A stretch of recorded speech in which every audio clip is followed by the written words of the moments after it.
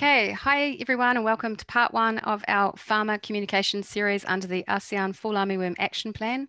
I'm very pleased to be hosting this session, and I'm joined by four amazing experts today to speak on the importance of effective farmer communication and the need to understand farmer behaviour when designing interventions to help farmers improve integrated pest management and control fall armyworm in the field. I'm also joined by our Executive Director from Grow Asia, Graham Dixie, as well as our digital lead, Wei Li Wu, who is joining us and, and helping out in the background. I'm just going to move the slide to our next one. And just to say that we have a very heavy schedule in front of us. We have some wonderful presentations prepared. We'll look at lessons learned from previous IPM efforts from the rice sector and the importance of enhancing farmers' ecological literacy from Dr. Heong. Dr. Andi Trisyono will share with us his efforts to understand farmer needs towards fall armyworm control. And Delisa Jiang from CropLife Asia will tell us about some very interesting behaviour science work that they've conducted in India to understand why farmers might not be using PPE gear in the field. And finally, we have Dr. Philippe Bujold, a specialist in behavioural science, sharing thoughts on understanding farmer behaviour and driving change. Now, just before we start, I just want to run quickly through how to use the Zoom platform today. The key message is that we really want to hear all your questions. We really do have some wonderful presentations jam-packed with information. So please make use of these experts and write your questions in the Q&A box. If you have any comments, if you want to share any research links, if you want to um, say congratulations to one of the speakers or hello or introduce yourself, please do that in the chat box. And please take the time to introduce yourself yourself and where you're from as well, because it helps us to get to know who is in the room. If you have any technical problems, you can send a message in the chat. Although note that if you have patchy Wi-Fi or you can't hear very well um, or the network goes in and out, we can't really do much at this end, but you could also try logging off and on as well, because sometimes that helps. Now, this is part of a four part series designed to catalyze action on the development and design of more effective farmer communications on integrated pest management and fall armyworm control. This is the session one on behaviour, but we have three other sessions this year. You can register for any of those sessions at our ASEAN FAWaction.org events page. Uh, and if you have any case studies uh, or examples you'd like to share with us, uh, we would really welcome those too. So please send them to us. We uh, want a very interactive series. So please give us your feedback and questions in the Farmer Communication Forum uh, at the ASEAN Fall Armyworm Action Forum Farmer Communication. And I know lots of you often ask for a certificate of participation. You're most welcome to have one, but you need to subscribe to this Farmer Communication Forum and share your thoughts before you get the certificate. Um, also, we're always looking for sponsors for our work. So if this series interests you and your company, then please get in touch with us with at faw at growasia.org uh, and we would welcome uh, working with you further. Now, just here is how you do get onto the forum, just in case uh, you're going to do that, which we urge you to do so. It's a good way to share and build the network. You go to uh, ASEAN FAWaction.org. You then click on uh, community in the menu, and then you click on the forum, number three, and you'll see farmer communication. Once you're in there, you can start sharing your work uh, with everyone uh, and asking questions as well. Now, my first speaker today, uh, we're very lucky um, to have Dr. Heong. Dr. Heong is a fellow of the World Academy of Science, the Malaysian Academy of Science, and is a distinguished chair professor of Zhejiang University, China. He's a former former principal scientist at the International Rice Research Institute Philippines, and he's recognized internationally as an authority on science, technology, and the implementation of pest ecology, biodiversity, ecological engineering, farmers' decision making, and pest management. Sorry, that's a mouthful for me, but it's a pleasure to have you join us, Dr. Jiang, and he's going to keep his his video off because of his internet, um, but you see his smiling face there, and I'd like to welcome you to the workshop. Hello, everybody. Dr. Heong, yeah. sorry. Hello, everybody, especially Pa, pa Andi. Hello, long time no see. Uh, shall I, con uh, you control my slides or? Okay, yep. thank you very much. Okay. Uh, since I'm going to talk about rice, I just have a short introduction about rice. Rice is grown and feeding millions of people. It's, it's a wonderful crop. It has very few insect pests to, to think of. And those who are very destructive pests are actually secondary problems induced by insecticides. Uh, farmers therefore has very little or no productivity gain from insecticide use at all. And from our work, we found that more than 90% of the farmers' sprays are misuses. They are wrong timing, wrong target, wrong chemical, wrong concentration, and very uh, poor sprayers.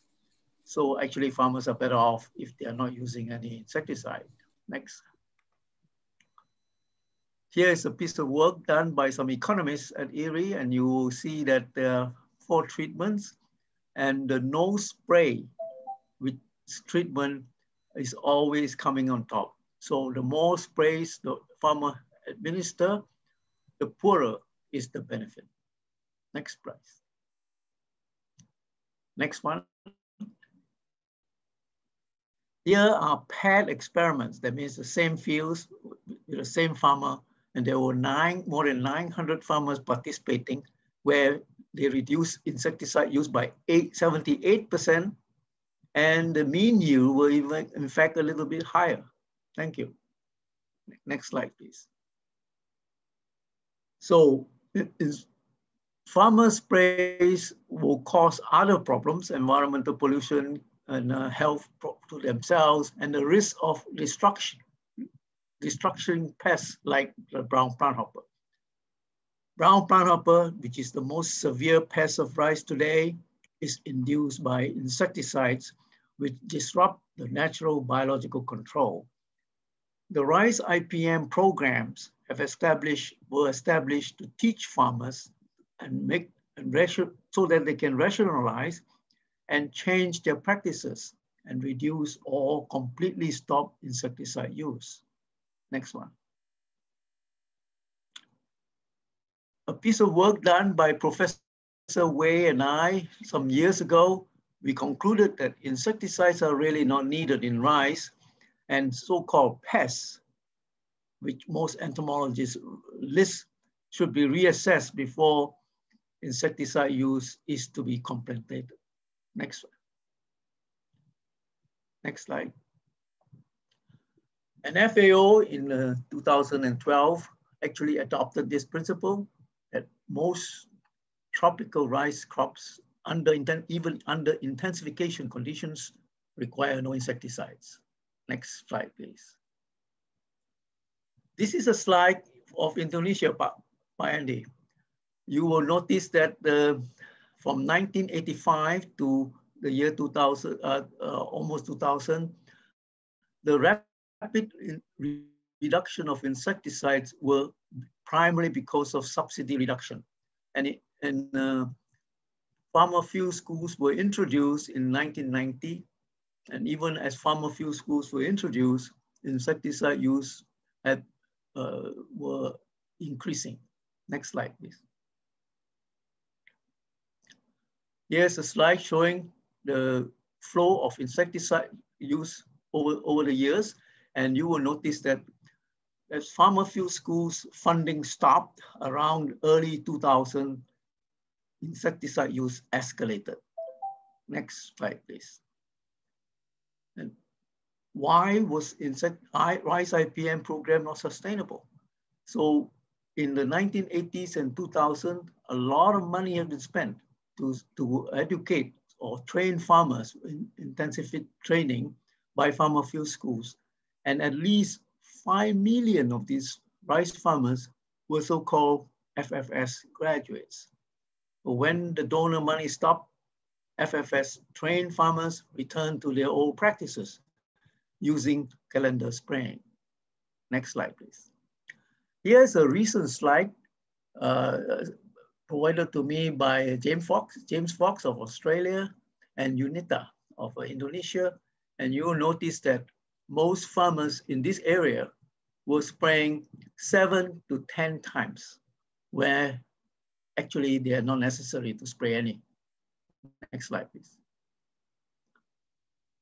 Why such huge investments were not sustainable. And here are some of the lessons we, we, we should learn from.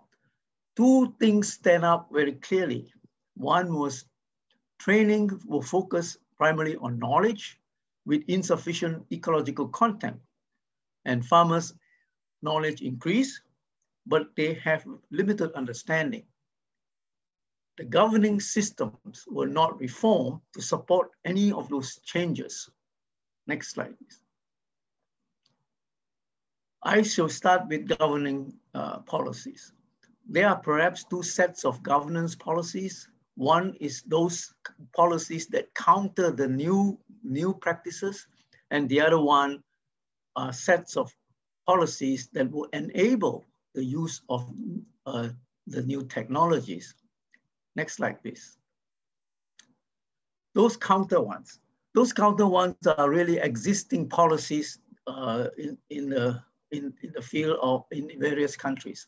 For example, Poisons Act. In many countries in Asia, they have Poisons Act, but pesticides are not included as poisons.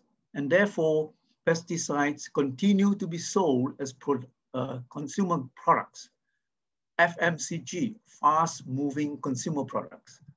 And also they usually uh, very weak implementation of, uh, of the policies.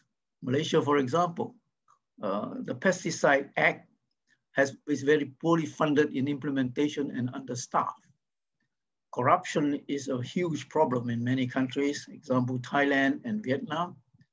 And implementers sometimes are under threat from hired gangsters when they visit uh, the fields, uh, namely Vietnam and Malaysia. Next slide, please. Here is a piece of paper, a paper published uh, in, in 2013 about in Vietnam in particular. So despite of very advanced new regulations developed and policies developed, the government were unable to regulate pesticide uh, market.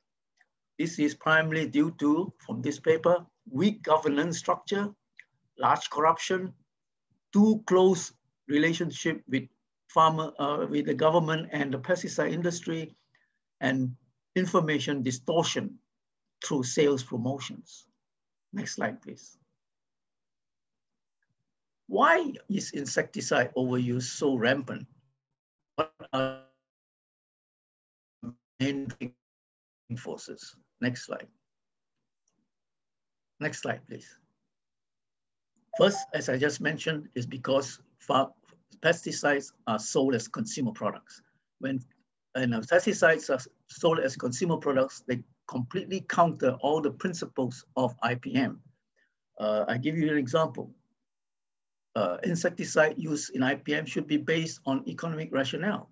But when uh, insecticides are sold as a consumer product, it will be based on emotions, desires, and fear, and uh, perceptions, and a sense, and of, of course, the price.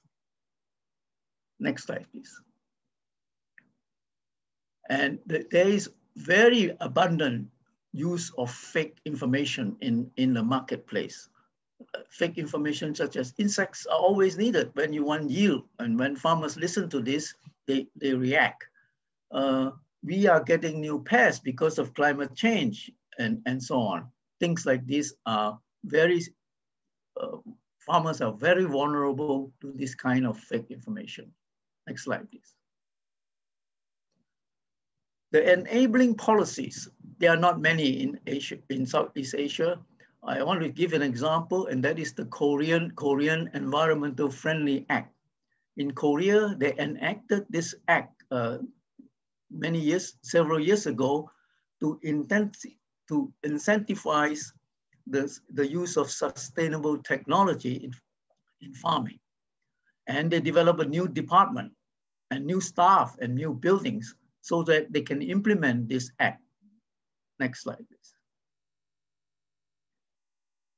This act, in this act, uh, some of the important features are like they're promoting permaculture, which is a production system that mimics the vegetable, uh, plant, uh, vegetables and plants growing in nature, aquaponics and hydroponics, crop rotation, and uh, planting of trees and other crops around the, the rice, which is, which is ecological engineering, and huge pesticide reduction programs and use of eco-friendly pesticide pest management methods. Next slide, please. What have the, the eco, eco-friendly products means that they are either using less insecticide or use of uh, and uh, using biological methods. They develop a certification program and labeling pro and, and labeling uh, program to facilitate the, the, use of these products.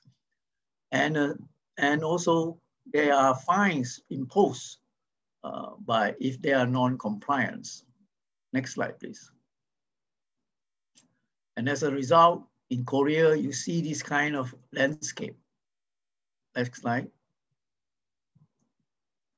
And another example of landscape where farmers actually plant flowers and, and they are credited for planting flowers next to their rice fields. Next, next slide, please. What happened? Pest, uh, fertilizer use in Korea dropped immediately, almost after the implement uh, introduction of the new act.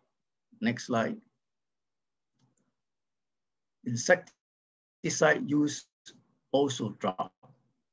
In addition, they introduced a new, a new uh, act called the Insect Industry Act to promote the use of insects as biological control agents. Next slide. Next is next reason why this is a uh, the lack of adoption is the lack of ecological literacy. And this deepens farmers' pesticide dependence. Next slide, please. Training focus on information and uh, knowledge and skills. However, this not necessarily translate into improving their understanding and decision and practices. In most cases, sometimes after training, there is a temporary change in farmers' uh, practice, but this is as unsustainable and quickly, farmers quickly revert back to using pesticide as before. So, like for example, most farmers are taught to recognize spiders, but they never understood the biological control dynamics of what spiders do. Next slide, please.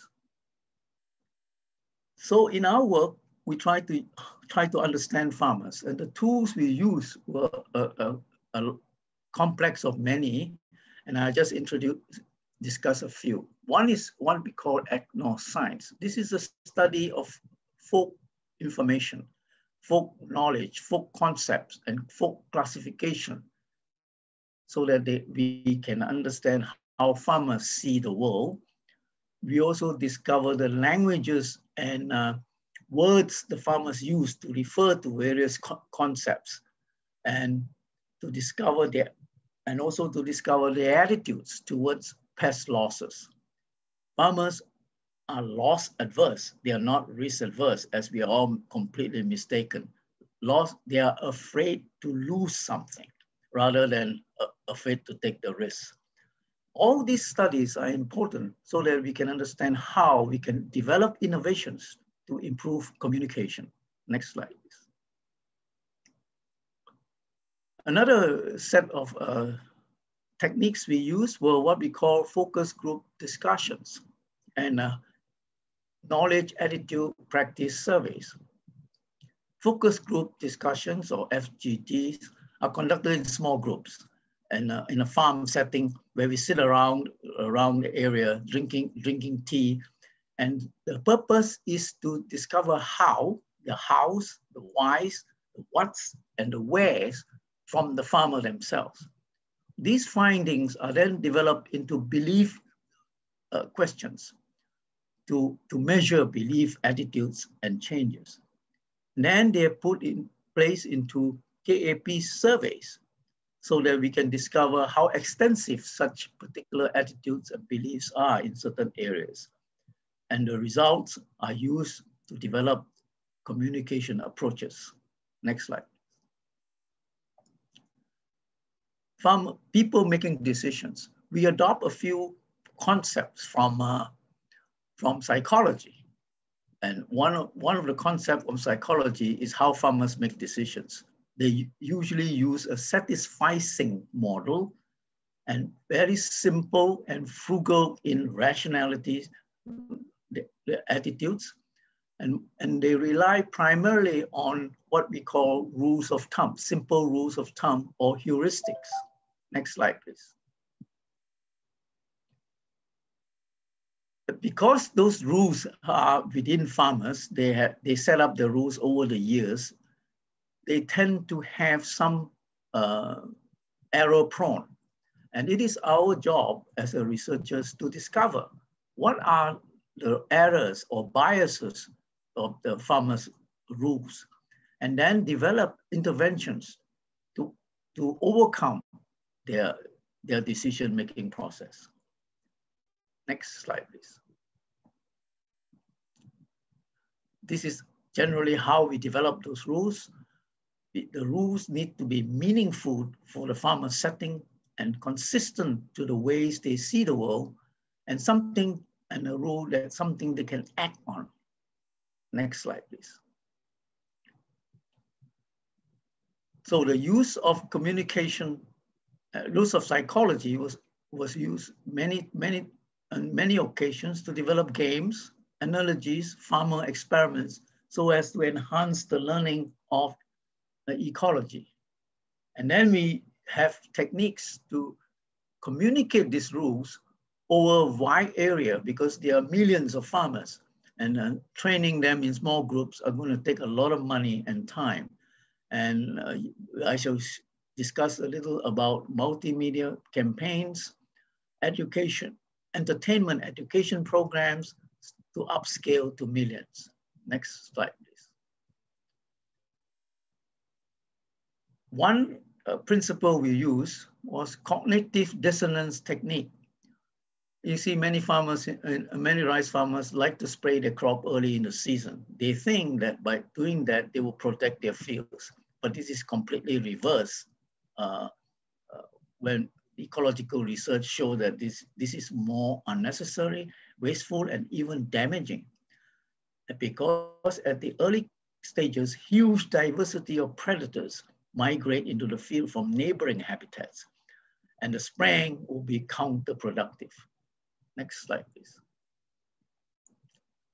And because also because of plant compensation abilities, the small damages on the leaves in the early stages have little meaning, little yield consequence.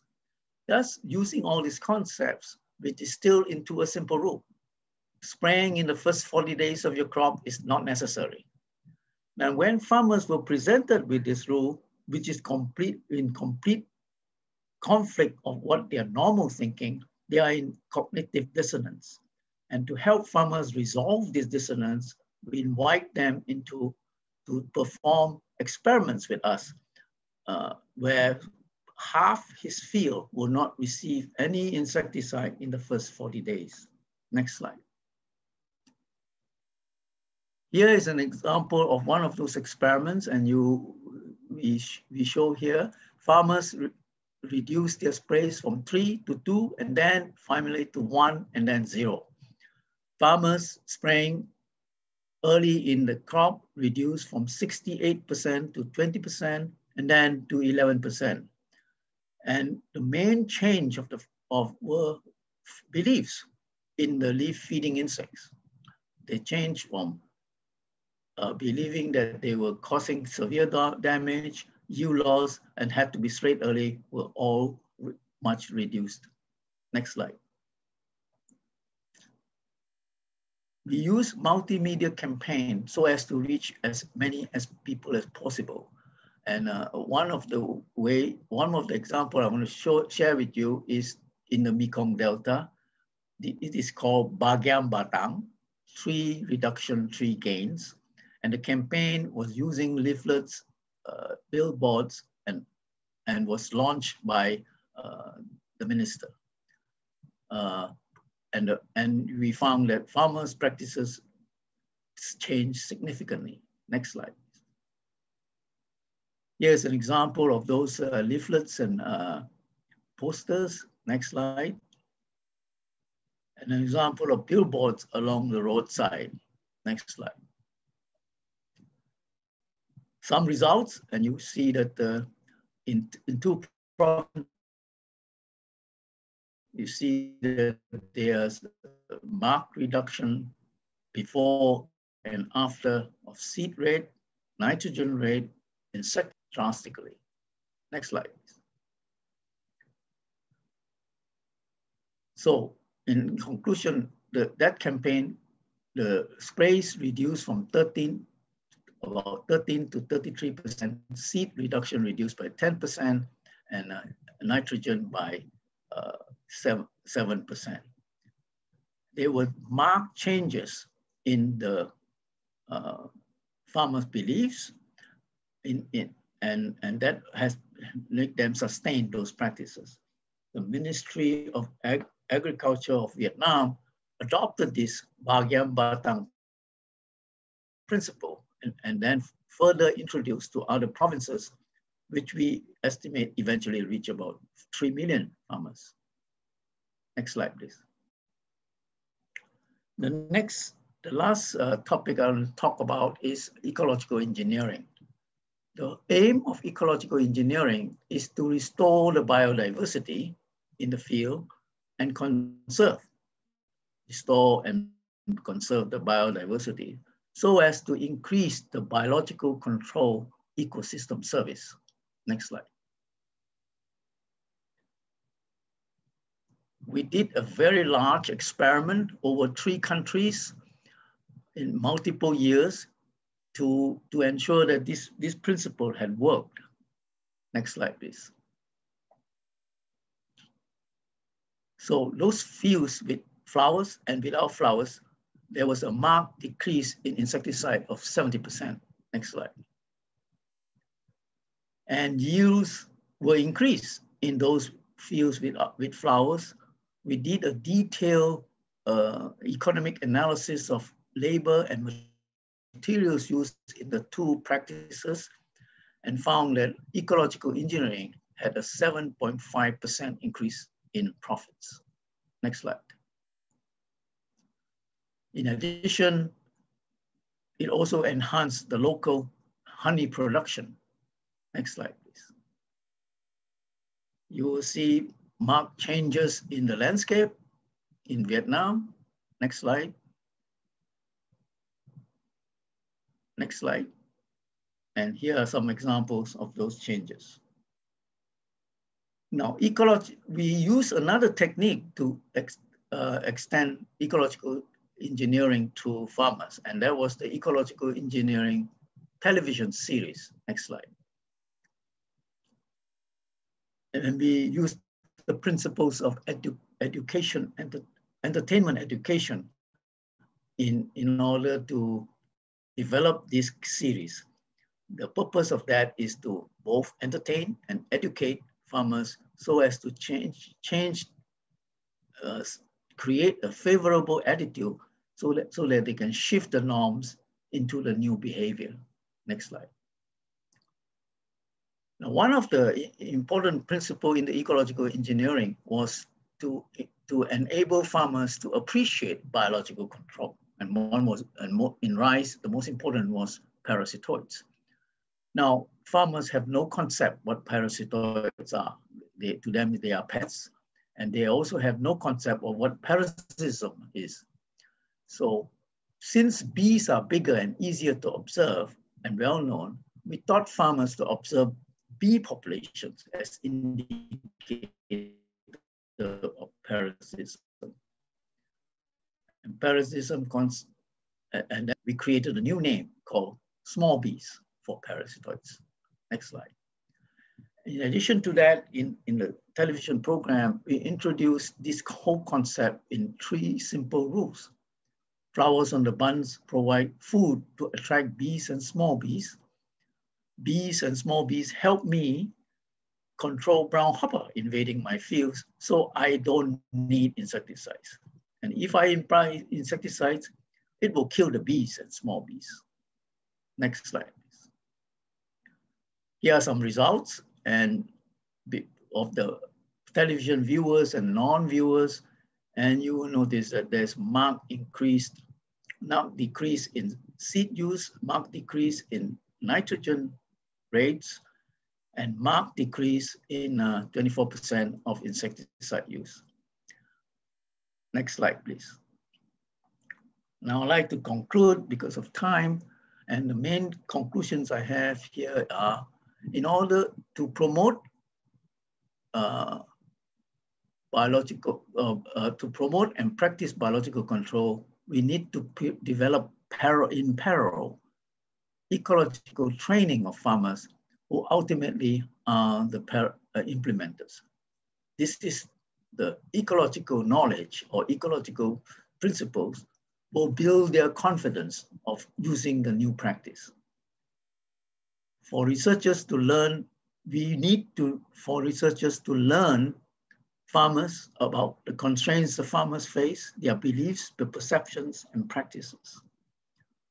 And we need to develop new innovate, innovative ways to communicate to these millions of farmers who need this help and in, to, for them to appreciate and practice biological control.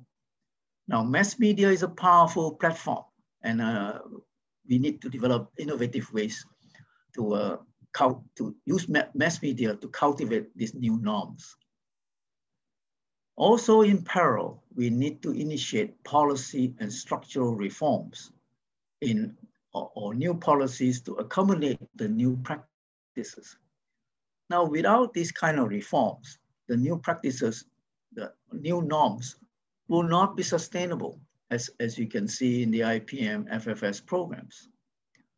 So we need to identify opportunities for new policies so as to make adjustments to the current one in order for us to implement a sustainable uh, implementation of biological control or ag in agriculture. Thank you very much. Any questions, I'm, I'll be pleased to, to answer. Thank you very much, uh, Dr. Heong. I hope uh, everyone can hear me now. And that was a uh, extremely excellent, very detailed presentation. There's a lot of food for thought, and I just want to remind everyone that a copy of the presentations today and the recording will be posted on our website later in the week. Um, I also encourage you now, if you've got any questions for Dr. Heong, to put them in the Q&A box. Um, Dr. Heong, you, you talked about a lot of interesting points and it's quite hard to know where to start, but I found a particular comment quite important and that was your view that farmers are loss averse, not risk averse. Because we often hear that farmers don't want to take risks, but I think the way you frame it here really resonates uh, as well as smallholder farmers being loss averse, not risk averse. Do you have any further examples of how to use this in the design of a program? For example, could it be that insurance policies for smallholder farmers could be important here as a way to support their that loss averse or that behavioural change uh, thinking? H how do you sort of support them? I, I uh, part of it I could not hear because there was some flux in the internet.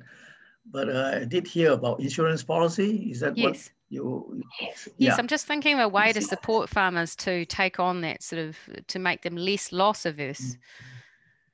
Yeah, yeah. So uh, during the Green Revolution, insur insurance policy was introduced. Now the, the trouble with the insurance policy at that time was the insurance companies tie up with the chemical companies and, uh, and, and farmers buying the insurance have to follow a schedule and uh, in order to, to gain from, uh, if they have a pest outbreak, to gain the, the, the repayment from the insurance company. Now, it is extremely difficult to, to, for, to develop an insurance that requires to do nothing, you know, so my brother is an insurance agent and I described the problem to him and I said, I like to develop something uh, like that. And he said that if that is the case, farmer people will learn that they don't need to pay the premium and eventually the company will lose money. So no insurance company will take this up. So our, our objective in the insurance company, in insurance policy, is to ensure that the farmers don't need to, to, to spray, and which mm. is completely difficult, is a difficult thing to implement. Yeah. Okay. Um, I've got a few questions here coming in from the audience. Uh, the question here is, does the data around pesticide use, does it also include fungicide? Uh, most of the data I presented were primary insecticides. So okay. uh, not, not, not necessarily fungicide, no. Here's a question. How long does it take to change farmers' practices? Almost instantly, if they understood and appreciate the concepts behind it and uh, feel very confident that whatever they're doing will not render them crop losses. So it's almost immediate. So if you teach them to recognize the natural enemies, that's not enough. You need to demonstrate uh, how those natural enemies help them and how by spraying actually will destroy it. And uh, that that kind of training. So that if the training includes those kind of things, there's a little more chance that they will have uh, more uh, confidence in the new practice. Great, that's an important point. Um, great answer. Here's a question from Susan Knight. Uh, thank you for your very thought-provoking talk. I agree there is an urgent need to increase ecological literacy. Can more be done to educate younger people, the next generation farmers, since they may be more receptive? And can such subjects be included in the school curriculum? Mm -hmm. We actually tried that in uh, Thailand, uh, where we tried to include uh, uh ecological content into uh, high school uh, students. We did that for two years, high school. The problem is in, in a country like Thailand, less than 10% of the farmers, of the children we trained went on to farming. So kind of hard in a sense to re retain uh, retain uh, that kind of information, uh, that kind of uh, training in in the in the market in the real marketplace. So most of them just gave up training after high school. They they do not go they do not go farming. Oh, interesting point. Uh, and for those that did continue, did was was that potentially useful for that ten percent though? Yeah, those who those who, who did follow, I mean, uh, who had that had that uh, training, did who did and and then uh, went back to farming, did have that knowledge. But the problem is he has to uh, deal with his father, who has a very deep feeling of the of pesticides. And uh. in those farm areas, the, the only advisor of pest management are the pesticide salesmen. So, so he's, you know, he has the new knowledge, but no confidence to practice it because his father tells him that he will lose his crop. So that becomes a, a, a deterrent. There was no, as I said, it, it, it boils down to the policy. There was no policy to remove some of the uh, unfavorable conditions. Uh, excellent. And I think that actually leads into another question here. Olivia Reynolds said, terrific presentation, thank you. Can you please elaborate how you ensure that these farmer behavioural changes and practices have a legacy, that they're continually implemented by farmers? For example, do media campaigns need to run long term? do you work with government to ensure government policies are reflective of these changes? I think you just alluded to that, that the policy needs to be in parallel. Do, how long do these media mm-hmm. campaigns need to continue, do you think? Those media campaigns or television programs pro needs to continue for a couple of years and with the support of the government. And in parallel, the government need to make some modification and adjustment to some uh, constraints in the environment for these practices to carry on. And if those uh, policies were not adjusted, uh, and as soon as those programs uh, go away or stop, people return, return to their old practices. Yes. Okay. Thank you very much. That's probably a good place to leave it. Um, excellent presentation. Um, so uh, full of detailed information. Um, you've got a few questions still there, actually quite a few, Dr. Heong. If you could just um, jump on the Q&A, you'll be able to answer some of those questions in writing and we would really appreciate okay. that. But thank, thank you. you so much for, for coming on and sharing your, you know, huge experience and knowledge on the subject. We, we really value that. So thank you very much. Thank you. Thank you, everybody. Thank you. I'd now like to introduce our second speaker, Dr. Andi Trisyono. And Andi actually works closely with us on the ASEAN Fall Armyworm Action Plan, in particular on the resistance work. So it's always a pleasure to have him back to join us. He is a professor of entomology in the Department of Plant Protection at the Universitas Gadjah Mada uh, in Indonesia. And he's focused his research on uh, insect resistance management and integrated pest management and experiences uh, working with smallholder farmers. Welcome, Andi. I'm going to stop sharing my screen and let you share yours.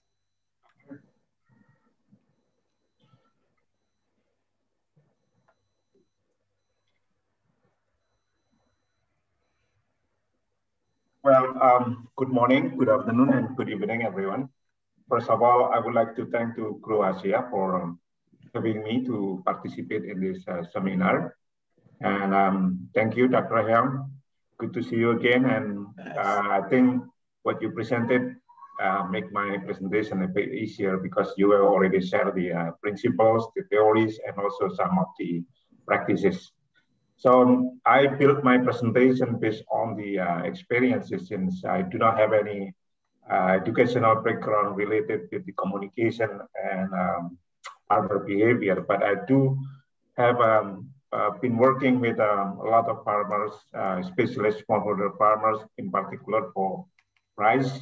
And I think in the last maybe 10 or 15 years, I've been also working with the rice, uh, with corn farmers, um, mainly on the Asian one border. As you might know that the uh, one was realized to be in Indonesia in the uh, uh, mid uh, 2019 and then uh, we had a pandemic since 2000. And so, um, in fact, I do not have uh, more direct uh, collaboration with the corn farmers dealing with the uh, with the uh, uh, but we do have meetings, we do have chatting in regard with the armyworm with different stakeholders. So I'm going to share my experience with rice farmers, and then I'll try to bring my experience from the rice farmers to what we should be do or what could we do with the corn farmers?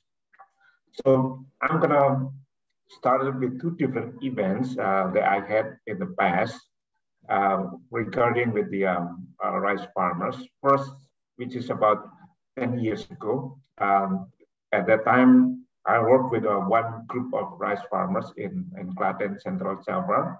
And it was during the outbreak of the brown planthopper in It was the, I think, it was the highest uh, outbreak um, in the last maybe um, uh, two decades. So it's about 230,000 hectares were infested by the brown planthopper. And here we go. That this is one of the pictures that I had that I took uh, from one of the site in Klaten. And in this size, um, uh, the farmer told me that they did not harvest and gain some yield in the last four rice seasons. So one day I received a letter to from one of the um, uh, leader in the um, village and asking for some assistance from from our department to deal with the brown planthopper because there, I mean, uh, the people in his village did not have any yield and they even sold the motorcycle to buy um, uh, pesticide and they used the pesticide, but still were not able to control the brown planthopper. So um, just a, a, day or two days after I received letter, and then I came down and then went to the field. And this is my first meeting with the farmer leaders, with the leaders of the uh, local government at the village, as well as the uh, um, the leader of the uh, society. So it's only a few people that I met, and um, uh, I think I deliver. Hopefully, I deliver very clear message at the time because this is very, very um, uh, important for me, as Dr. Heong already mentioned, that Uh, Indonesia has been implementing uh, IPM since 1989, and you saw from um, you also saw from his presentation that insecticide use is still something that we we are concerned and still uh, big uh, uh, usage of um, insecticide or pesticide in general for rice. So um, when we had a, a problem like this, so what I what I said at the beginning of the first meeting is that I do not have the money.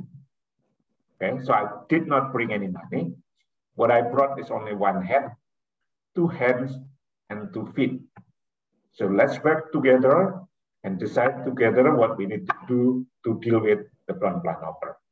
So uh, that's the message that I, I delivered at the beginning of uh, our meeting. And in the back of my mind, I decided to focus on the uh, pesticide reduction because I got the information from them that they sprayed more than 20 times per season, but they still do not have any yield at the end of the uh, season. So this is the um, the data that we had um, from the first season. After we work together, we observe together, we make the decision together. But in the back of my head or on the top of my head is that I did not want to talk about the IPM as the way we talk about uh, in the uh, uh, Field School of IPM. But my first um, destination or my first objective at that time is one is to reduce the pesticide use, and second is to gain the yield because that's what were needed most for the farmers to gain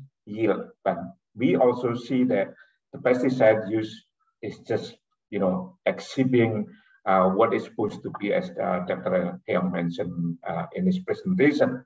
And what we had at the time is during the first season is that we, we still use our pesticide application, especially insecticide, for four times because the population of brown planthopper was huge. So migration from surrounding field was almost every day. So this is not local population. We spread because of the migration, because of the population that coming into the field.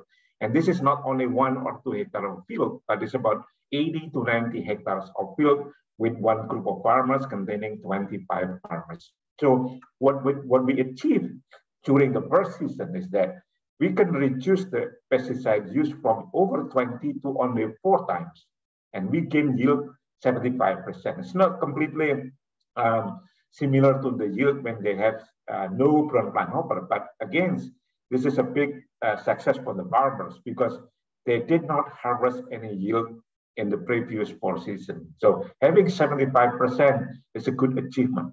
So uh, it is very, very important to me, and I, I think it's also for the farmers to have the, uh, what do you call it, the benefit right away when we uh, deliver the program.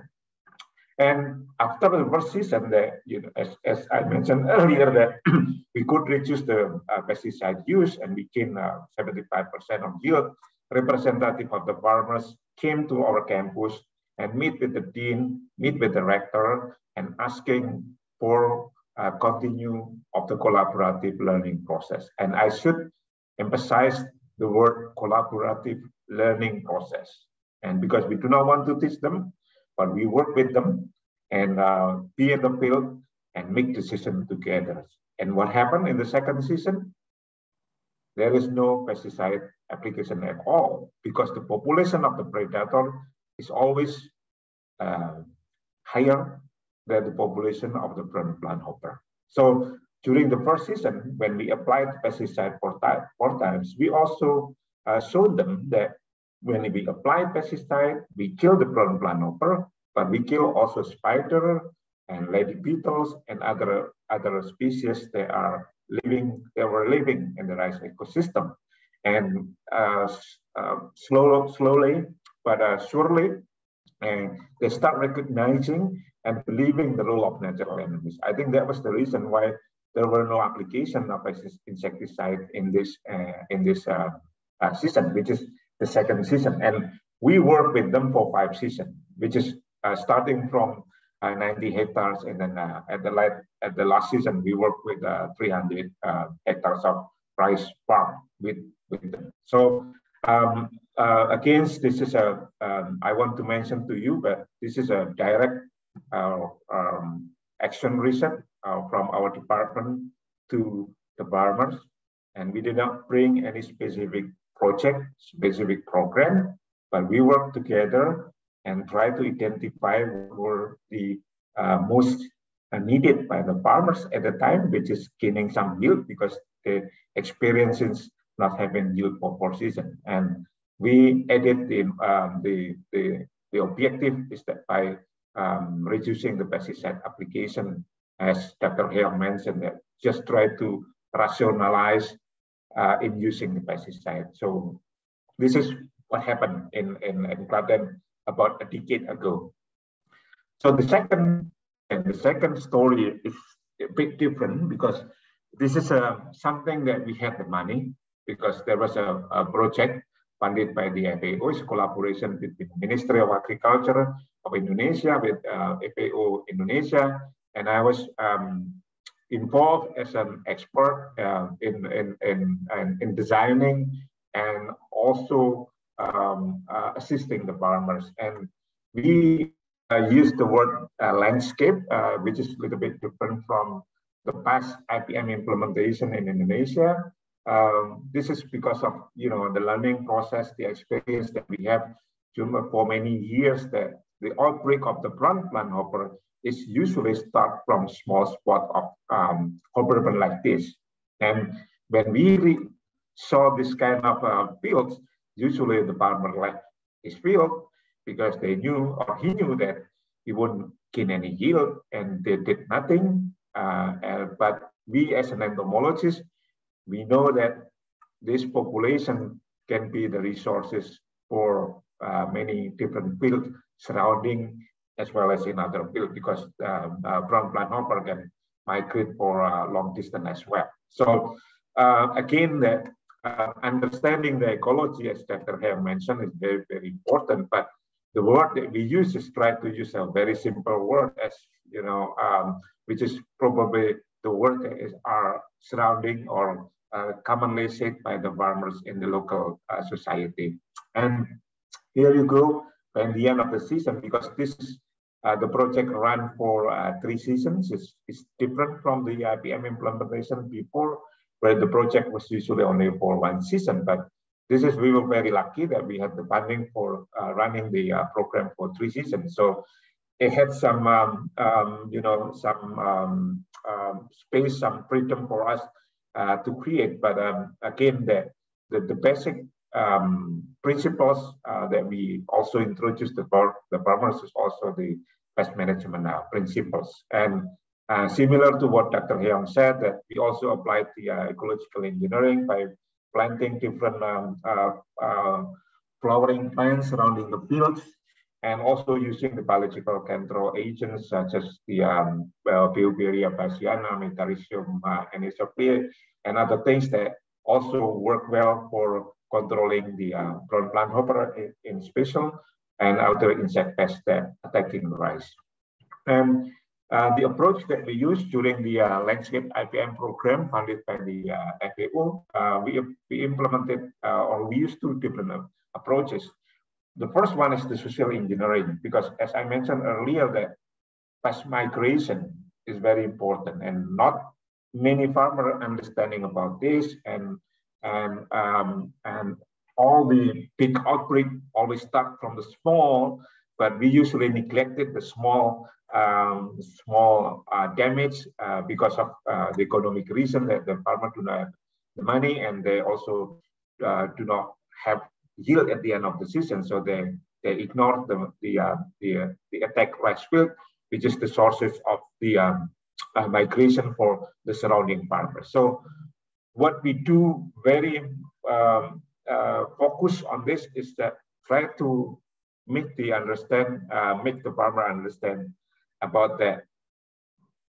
The responsibility of the management of small plot that's infected by the pest is not only the responsibility of the farmers that own their fields, but it has to be the responsibility of all the farmers in the farm because they're supposed to be knowing that this small population will be even bigger at the end of the season and when it's huge population and then they will migrate to their, uh, their fields. So understanding and working together of the farmers in the farm is going to be the key success for uh, management of the brown plant or, rice beds in general. So this is the key point that we introduced and we try to make them understand and practicing and uh, incorporate it into their mind that they need to work together because PES does not recognize the administrative boundaries, does not recognize the uh, border of the uh, ownerships. They will go wherever they want to go. And as an entomologist, we know that management based on field by field is not going to be solving the problem, but probably using a landscape which is much bigger, it can be a it can be a good way and a good good approach because usually it will insect will attach to the and it will be affected by the surrounding environment. Okay. The second one is the ecological engineering. I do not want to spend too much time on this because Dr. Heong already mentioned uh, with a great detail on that. And the third one is uh, we still use the farmer field school as the way we did in the, uh, the beginning of the IPM implementation in Indonesia. And this is just a few pictures to show to, uh, to you and a few uh, statement that emphasizing some of the message that I want to deliver. Farmer field school is still, still mean the delivery. And we noticed that it's very, very important to include women in the group for the training we can see the differences where the group did not have any woman and the group with one or two or even three women in the in the group. The dynamic is different. And we know that the role of the woman in the family, it could be different from one family to another family, but still uh, we saw, we learned the importance of women in the training process. Okay. This picture just to show how important educating the the children, you know. And as we know that flowers are good for children, good for us, it's good for the aesthetic as well. And at the beginning of the um, uh, the project, uh, the flowering plants was uh, usually damaged by the by the children because they pick it up, they cut it, and they use it for for playing around because they still did not know what what the rules and what the function of the flowers in the in the fields. But this is one of the extension agent that you know explain to the student, uh, elementary student, and after that, and then they contributed. They planted the uh, flowering plants uh, uh, around the ponds, around the creeks, around the um, uh, the village road. Um, so make it beautiful, and in some places it becomes like a local tourist area for for some of the people and taking pictures.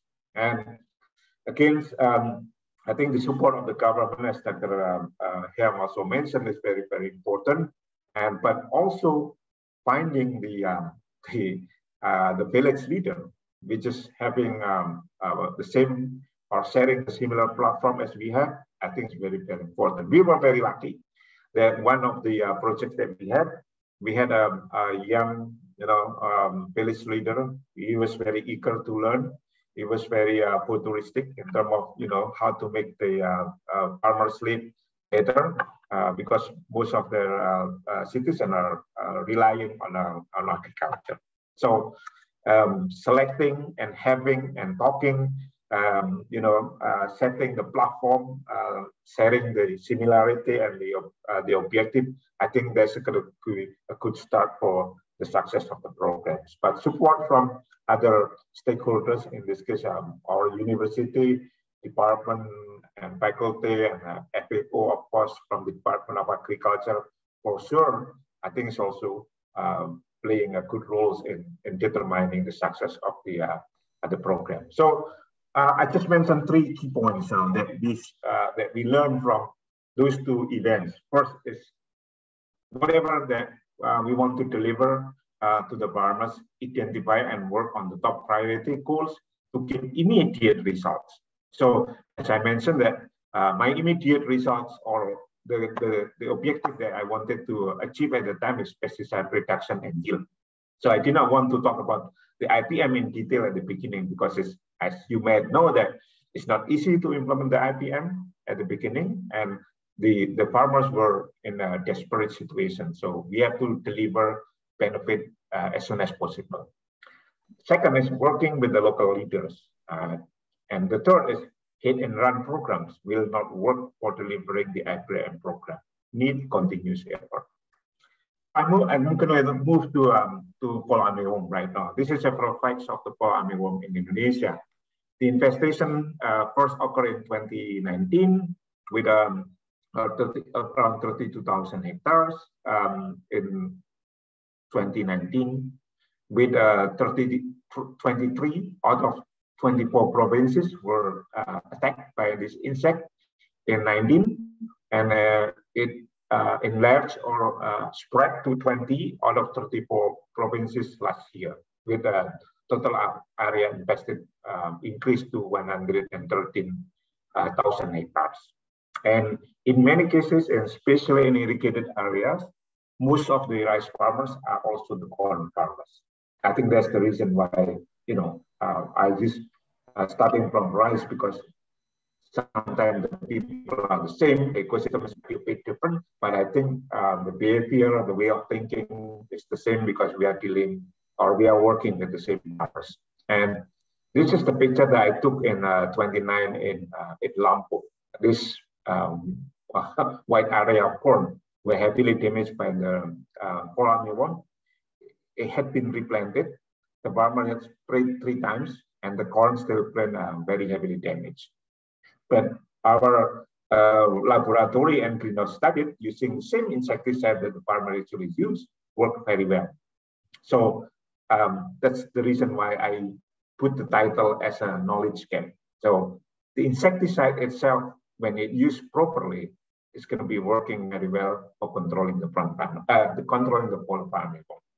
But because the understanding of the ecology, the bioecology of the fall armyworm and how to use the insecticide properly, which is going to be, I think, uh, our next speaker will be talking a lot about uh, this, is, is, is still, there is a gap. And this is something that need to be filled uh, uh, in addition to reducing the use of pesticide or the use of biological control agent. But how to use uh, pesticide properly is something that is also very important subject matter. And Two minutes, Andi. Know? I'm sorry? Two minutes, Andi. Okay, sure. Uh, I think I just um, two or three more slides. This is this is the um, um, something that we we know from the from the field that we have a different crop plants. We have two major insect pests uh, attacking the corn, and also uh, the population of the fall of overlap. So this is the kind of information that we we need to gain to be able to uh, deliver and um, uh, uh, have the right program. So this is my last slide. So what do we need actually from farmers? Um, first, immediate results. So I do not say what it is, but I set the criteria because farmers from one village to another village or from one district to another district might have different uh, different uh, society, different uh, background, different behavior, different ecosystem. So that why, but whatever the uh, the program, whatever the uh, uh, behavior, whatever the ecosystem condition, I think delivering immediate result is going to be good to gain trust from the farmers that this program is going to be working. Second, simple and workable program. And I think Dr. Heong mentioned using the word of you know, small and big piece is going to be much more uh, understandable rather than using the word of parasitoid and uh, and whatever the, the jargon that usually the entomologists use. Okay, the third one is medium term of assistance. So in my experience, uh, one rice growing season or one corn growing season is not going to be enough to deliver the, the full package of IPM. So probably two or uh, three seasons is going to be much, much better. But at the same time, we also need to start fostering uh, self-reliance. So these are the four criteria that I want to share with you uh, based on my experiences. Uh, we do not need to start one by one, but we have to, we, we got to start at the same time, but make sure that the first one is going to be the one that will deliver results immediately. So thank you very much, um, Alison, and hopefully I did not pass the, um, the time that you set up. Uh, thank you. No, that, that was great, Andi, and, and thank you very much. And lots of good information uh, in your presentation as well. I mean, really a lot of rich information shared today, and still more to come. Uh, some questions for you. Uh, do, do you think this sort of IPM, then, how we talk about it at the moment, is just sort of too complex then for to, to talk with farmers about? I mean, you seem to say that it's really good to just focus on simple messages to start with, or even a simple part of IPM rather than rushing in and talking about integrated pest management as a whole. Is, is that your, un, your understanding? Yeah, I, I, think so. For example, in, in the case of um, um, rice farmer in Indonesia, um, um, because to make the decision, we have to do the observation to see what are the population of the pest and the natural enemies. And yeah. uh, and most of the farmers did not do uh, uh, um, observation before making the decision. So this is something that you know um, we have to deal with because uh, not all the farmers are hundred percent working in the field, but they yeah, work in different uh, areas. You know, uh, so farming is just maybe the second or the third, the third uh, jobs that they have. So spending too much time on observing is something that we need to uh, pay attention on that one. So making uh, a, a, simple way, like uh, Dr. Hale mentioned, that having a good indicators of the ecosystem that will help the farmers without spending too much time like the way we do research in observing the ecosystem, I think it's going to be a, a great way to uh, to uh, equip with uh, IPM's uh, IPM school because I think that's the most uh, what do you call it? Um, not necessarily complaint, but it's a concern from the farmers to do the observation weekly and make a lot of effort on that, and let's uh, make it more complex. So yeah, uh, it's, it's, it's, the same thing with when we talk about biological control, and then we have to rear the biological control agent and then uh, uh, use it, and it's, it's complicated. I think which is this is uh, when we contrast it with the pesticide use, it's just totally different. Pesticide is very easy. So I think this is the thing that you know we need to consider at the beginning. You know, good point.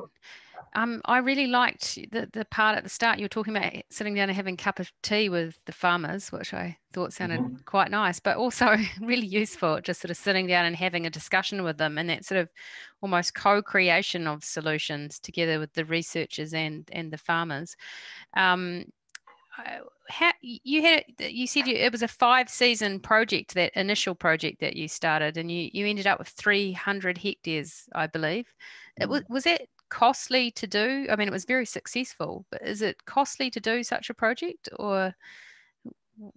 Uh, not necessarily because uh, all the material all the inputs were coming from farmers. The cost that i I, I had is just you know for buying gasoline to to drive my car from my campus to the uh, to the location and also buying for my lands, you know, but uh, providing, uh, but we did not provide anything for the farmers except for the pesticide when we when you use mass spraying. You know, I I, I contacted the company that um, um, because we had a previous uh, research showing that the brown planthopper in Java were resistant to certain group of insecticide, but we also did some uh, research looking some alternative insecticides. So when we had a problem, we already had the data from our research.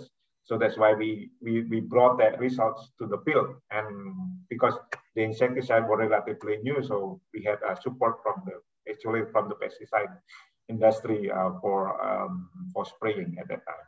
But other than that, we do not spend any money for buying fertilizer and meeting and so okay. on. We do not do that. Yeah. And uh, Andi, what what are some of the ways that farmers in Indonesia? Uh, what's the best way to communicate? I mean, you've just given one really good example of actually just meeting with them, talking with them, working with them, and understanding like person to person.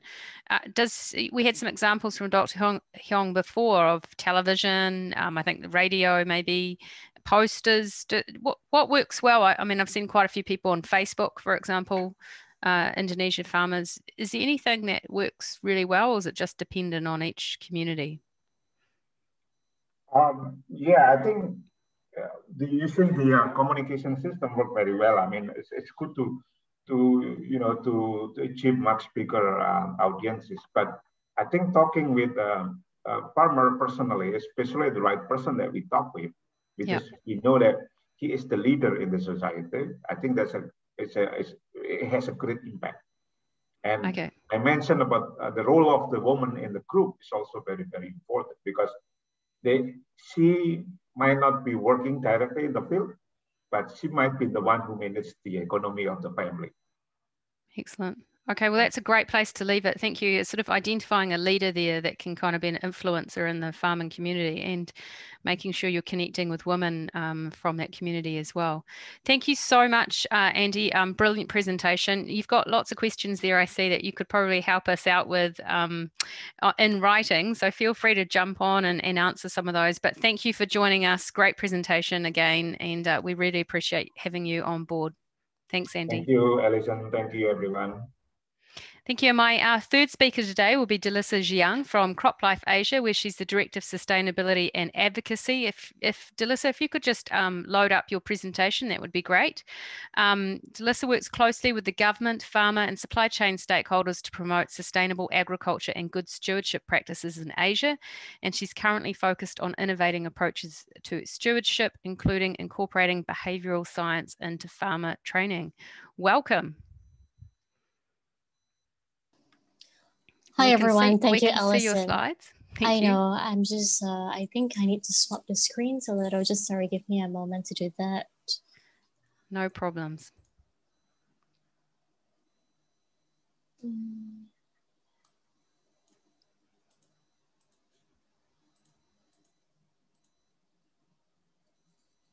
Okay, there we go. I think you can see my screen in PowerPoint mode now, can you?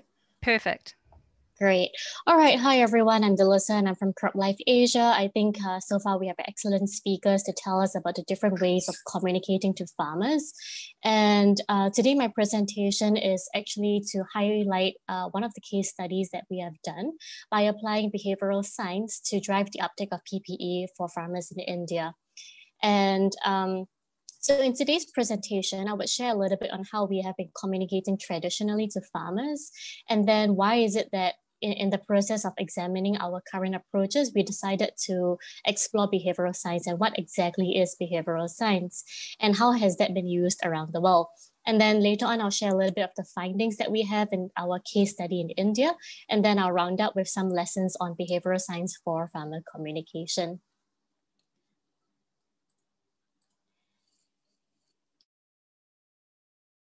All right, and so how have we been communicating to farmers? As you can see here, uh, we have several pictures of how we have been communicating to farmers. And these are also examples that have been shared by Dr. Heong and uh, Dr. Andi. Uh, it has been done in classrooms, we have done live demonstrations, we've gone down to the villages uh, to talk to the children, to the uh, mothers, and we have also put up billboards and posters. And these are examples that are not new. I think um, in, in the presentations earlier, you have seen some of these pictures also. And in CropLife Asia from 2005 to 2015, 2015, we trained over 15 million farmers in Asia. And despite the extensive training over different types of training modes, there are still a lot of concern around how uh, there's a misuse or a lack of safe practices in pesticide application. And so this made us think like, what is wrong with our traditional stewardship approach? And so the first problem that we identified is assuming that knowledge would immediately translate into action. But we know that this is not true um, how many of us actually know exercise is good for us? Everybody. But how many times have we found ourselves snoozing on our alarm, even though we decided to wake up slightly earlier to put in some exercise into our routine? Similarly, for all smokers, it's not that they do not know that smoking is bad for health and increases the cause, uh, the chances of getting cancer, which is a very deadly disease. Um, yet it has not stopped many smokers from quitting. Similarly, we are training farmers all the time on using pesticides judiciously. And yet we still see that there are a lot of concerns that persist on the unsafe use of pesticides.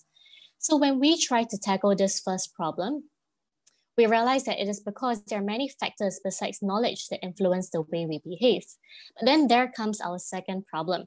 The second problem is that when we try to identify other factors, it tends to be very anecdotal assumptions that we make and is lacking in evidence. So for example, when we do a brainstorm on why is it that farmers do not wear PPE, um, a lot of reasons are cited by all of us. Oh, because they don't know which product to use. They find it very costly. They find it very uncomfortable. They find that they do not understand the importance of safety. But with so many reasons being cited, how do we know which one uh, are we, you know, barking the right tree? And um, all of this information is something that we could have heard from the farmers on the ground, but it is lacking in proper evidence for us to identify what is the right problem so that we can increase the return on investment of our training. And so this is where behavioral science comes in. So what exactly is behavioral science? Behavioral science is an interdisciplinary field uh, that borrows from psychology, behavioral economics, and design thinking. And using this intersection of three disciplines, um, we try to understand the complexity of our minds in making decisions and therefore design more effective solutions. So I use this picture on the right because I really like this um, picture in describing what behavioral science is about. So in our brains, we can imagine that there are many different buttons. And you know, as, as you know, you press a button, maybe a certain door opens. But there are so many different buttons in our brains because we're very complex people. And maybe when we do training, we're pressing just one button in that brain. Uh, but there are several other buttons that might be opening the doors that we're not pressing.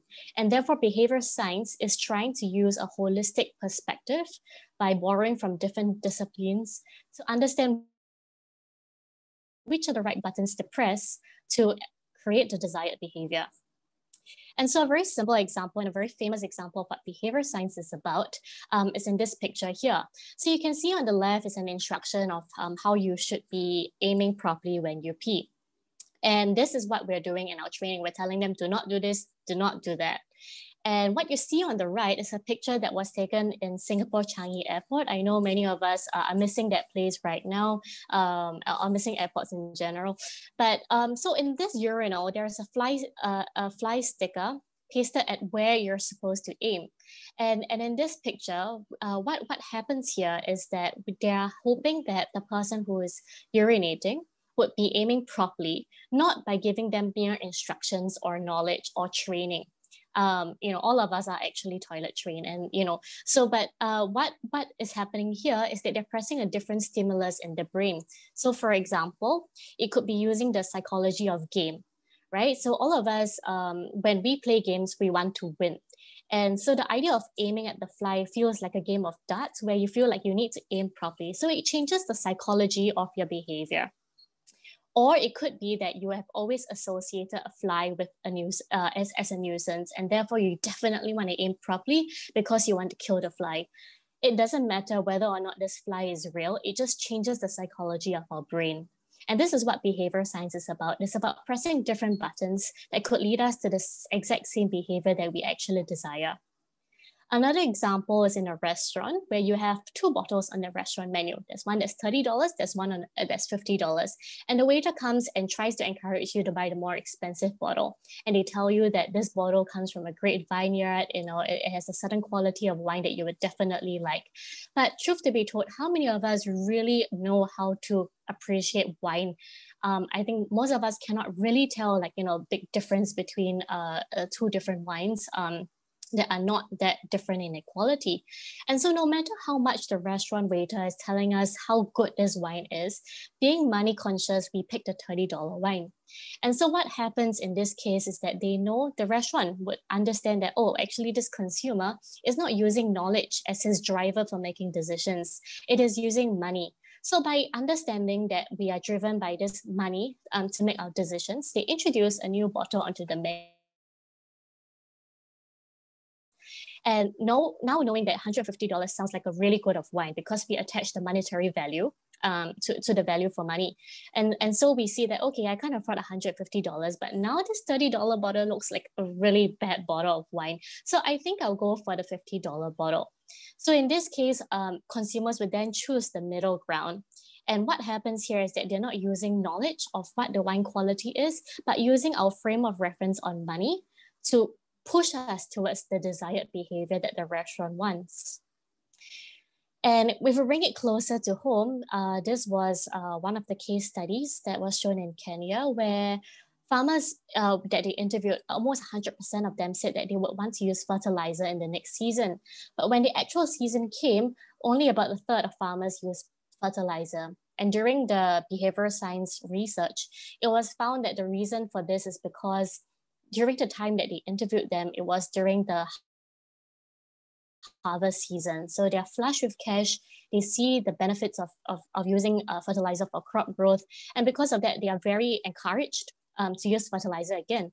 But when it comes to the actual season where they need to plant, um, suddenly they're short of cash and that immediately dominates their decision making and they decide okay maybe i can do without it you know and and so because of that there's a great fall in the numbers so in this case what was done for behavioral science was to create a pre-purchase uh, program where at the harvest season a fertilizer voucher is being given out and because during this time farmers are flush with cash uh, there's a lot more receptiveness to purchase these vouchers. And then the fertilizer is only delivered during the planting time when um, it is delivered to the farm exactly when it is needed.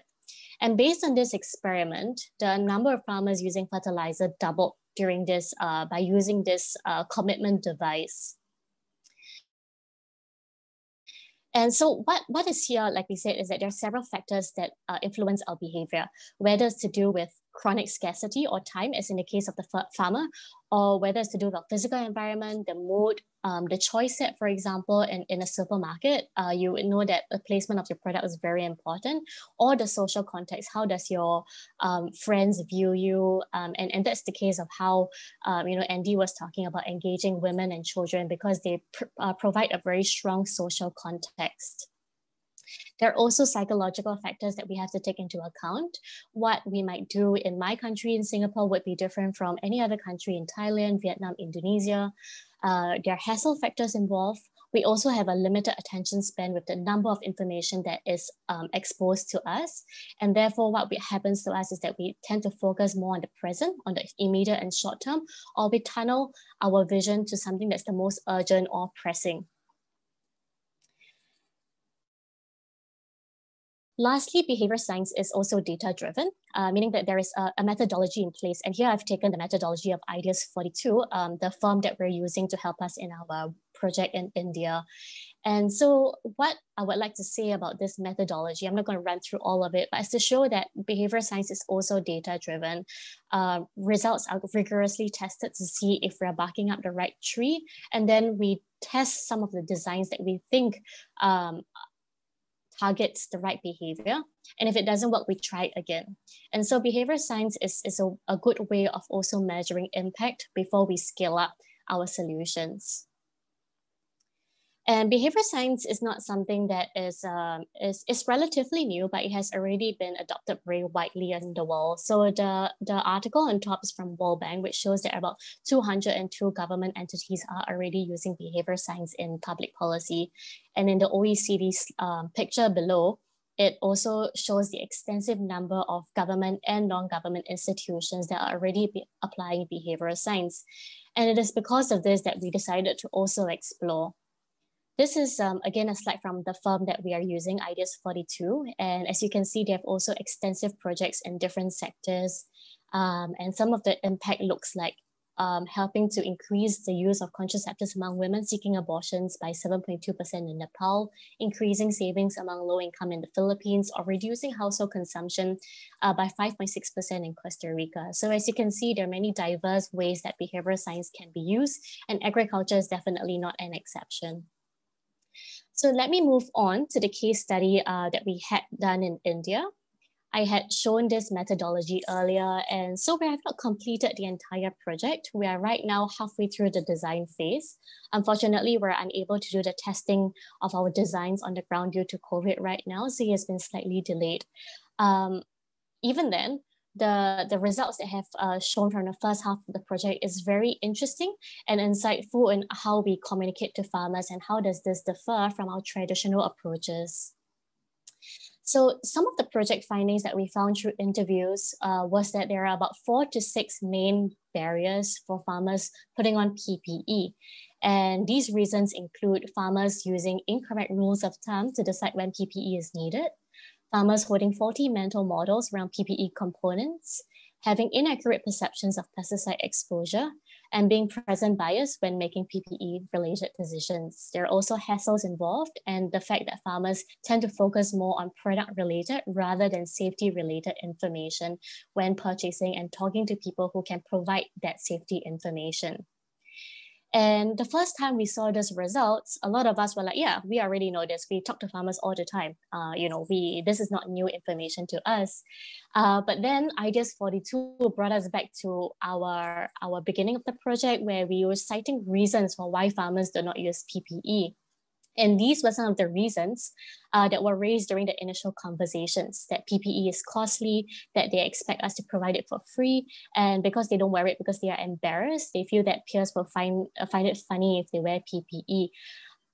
However, from the interviews that were done based on data driven research, there was no supporting evidence or weak evidence to support these claims.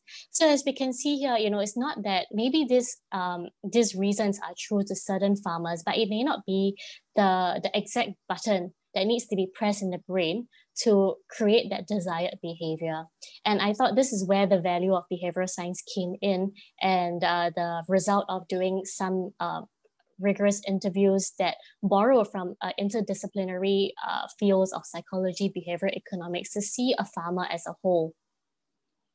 The other thing that behavioral science helped us to do, as you can see here in, in the red boxes, is to help us to identify these reasons, not so much as an anecdote, but in casing them and casing them into psychological terms that we can therefore take action on. And based on this um, psychological terms, scientific terms that were used, some of the proposed designs are like this. So for example, for 40 rules of thumbing, I'd be able to identify that psychological term. We are able to exactly identify and address the behavior barrier. Uh, if they have inaccurate understanding, then maybe we could use uh, an aging app to simulate how you look like uh, in OH with or without chronic exposure um, if they're not able to see the risk of pesticide exposure, could we use glitter and food coloring to show them the actual residue that's left on their bodies if they do not wear PPE? So these are some of the sample designs, but these sample designs uh, have become more accurate because we are able to encase the problem that we see into actual psychological terms that we can take action on. And so I've come to my last slide. And um, I would like to sum it up by, by bringing you to this big chunk in the middle called context. So a lot of times in our traditional approach, we just assume that just having knowledge will immediately translate into action. But what we do not see is that there's a huge chunk in the middle called the context. And behavioral science helps us to use a, a scientific, data-driven and measurable method to identify the right contextual factors that can press the right buttons in the brain towards action. And based on these factors, we can design more accurate and effective training.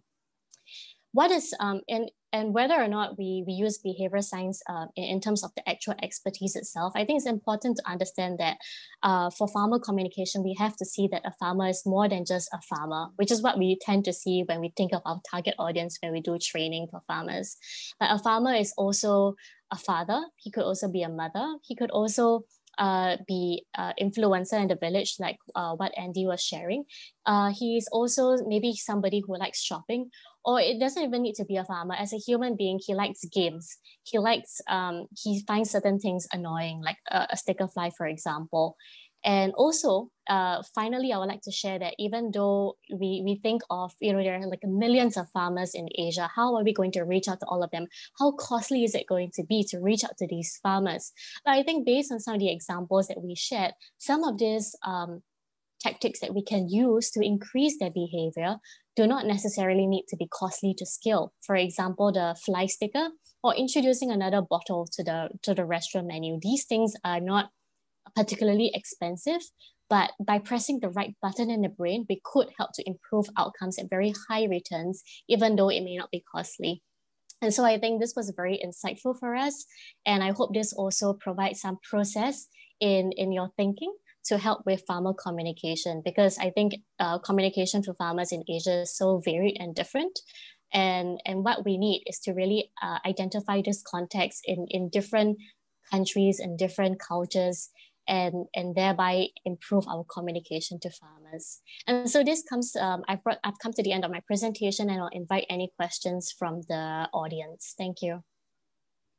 Thank you so much, Delisa. That was uh, very interesting to hear about that work, and um, I'm sure we'll get an update later on in the year or next year uh, as it continues. Um, and it, I think you really did underscore the importance of understanding farmer behaviour and decision making uh, as part of understanding what potential intervention might be needed in the future, or, or the way that we communicate to farmers. So, so thank you very much. Um, there's a question here. Uh, maybe you could clarify. Could you please let me know what kind of PPE gear that you introduce to the farmer, and do they feel comfortable to wear or use it?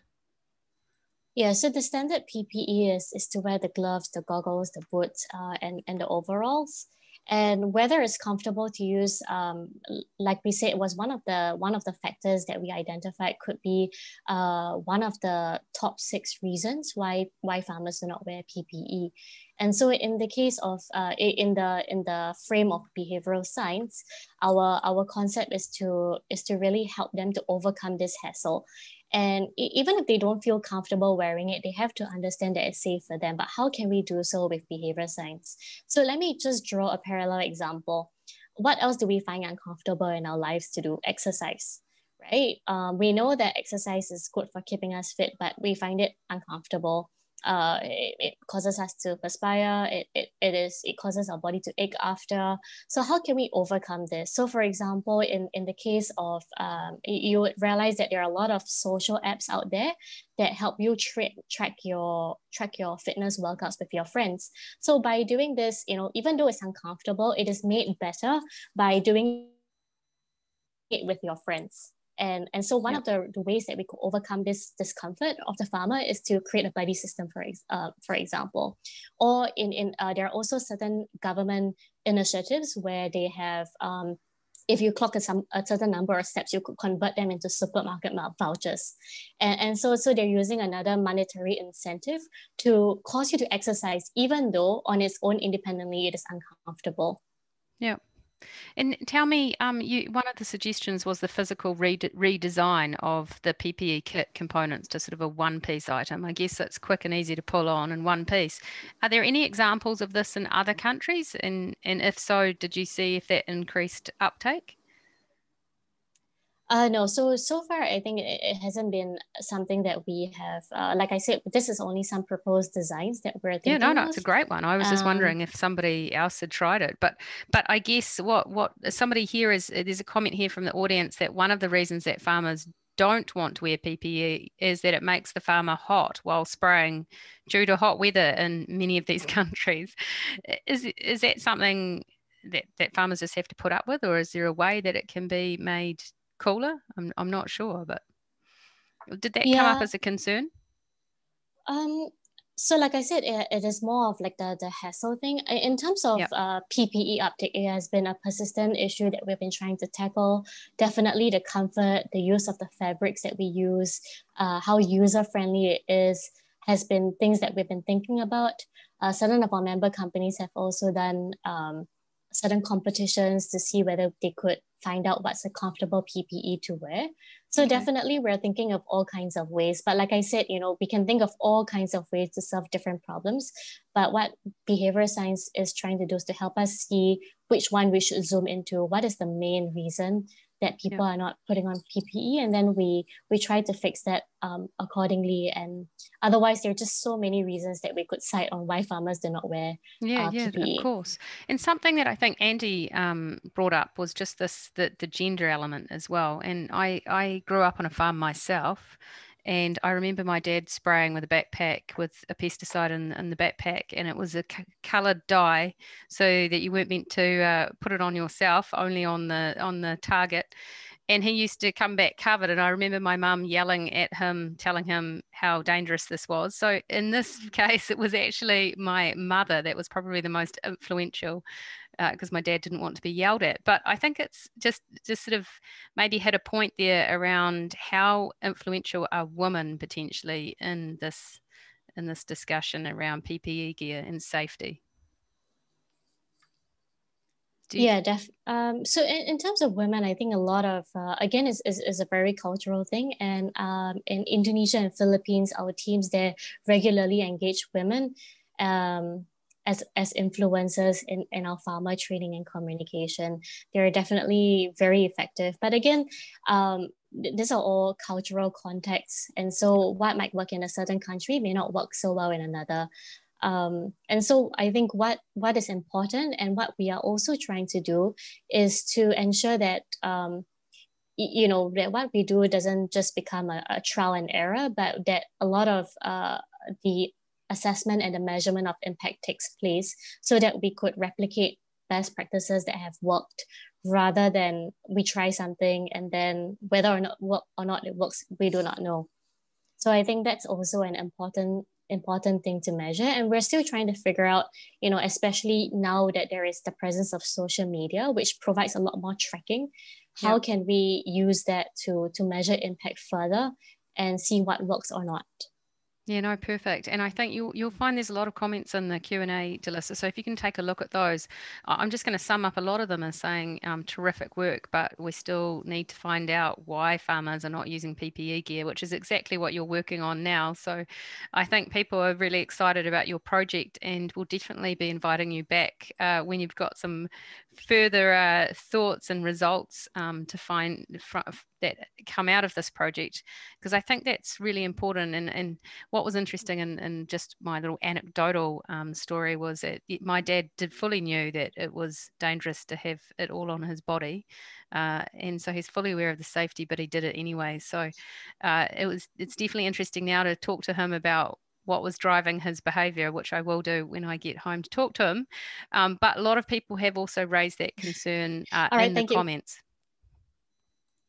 I, I will answer them, but um, yeah, we're equally excited to see the end of the project because this is the first time that we're doing something like that. Um, and it could potentially transform the traditional way that we've been doing things for decades. And I think comes very timely because now yeah. there's a lot more new tools in the digital space that, that we could also employ and innovate to reach the farmers. So thank you very much, Alison and everyone. No, thank you very much. And that is excellent. And it really underscores the importance of this workshop today to expose some of these um, programs and research and work and this need for better farmer communication and understanding farmer behaviour. So thank you, Delisa. Thank you very much. If you could just take a little bit of time to answer any questions or say hello to some of those um, people uh, reaching out to you, that would be most appreciated. And thank you very much. Most definitely. Thank you. So I'd now like to move on to our next speaker, and uh, he is a behavioural science scientist, a specialist, Philippe Bujold from the, uh, and actually I'm going to let him introduce it because I'm going to get it wrong, but I think it's the Centre of Behavioural Research, but he was telling me just before, I'm going to let him load his um, presentation, but he, him and his team, Philippe and his team, are doing some uh, really interesting work in South America with farmers, uh, and they very much specialize in this sort of behavioral research, uh, decision making.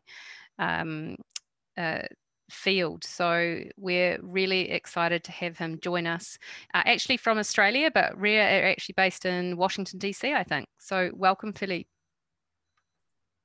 Thank you so much. Um, just want to make sure you're currently seeing my presentation, right? We are indeed. Perfect. It's the, the number one question in 2020, I think. Um, but yeah, perfect. Thank you so much, Alison, for, for the introduction. Um, you almost had it right. Uh, I work for the RARE's Center for Behavior and the Environment. It's a very long name, don't worry about it.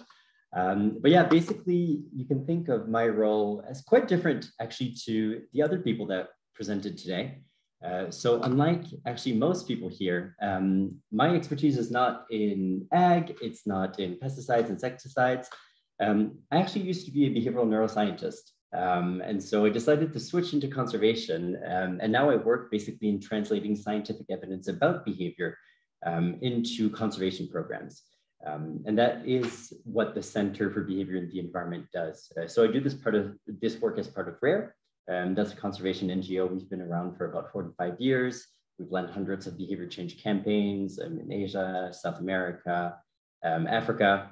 So that's kind of the perspective I take. And it's going to be super interesting, especially having heard the three other presentations. I'm going to take a bit of a higher level um, approach and just explain to you not how to generate necessarily the insight, but how to actually use the behavioral insights to then create a program, um, giving you the example of what we have in South America. Um, so just a bit more background, basically the Center for Behavior and the Environment launched in 2017.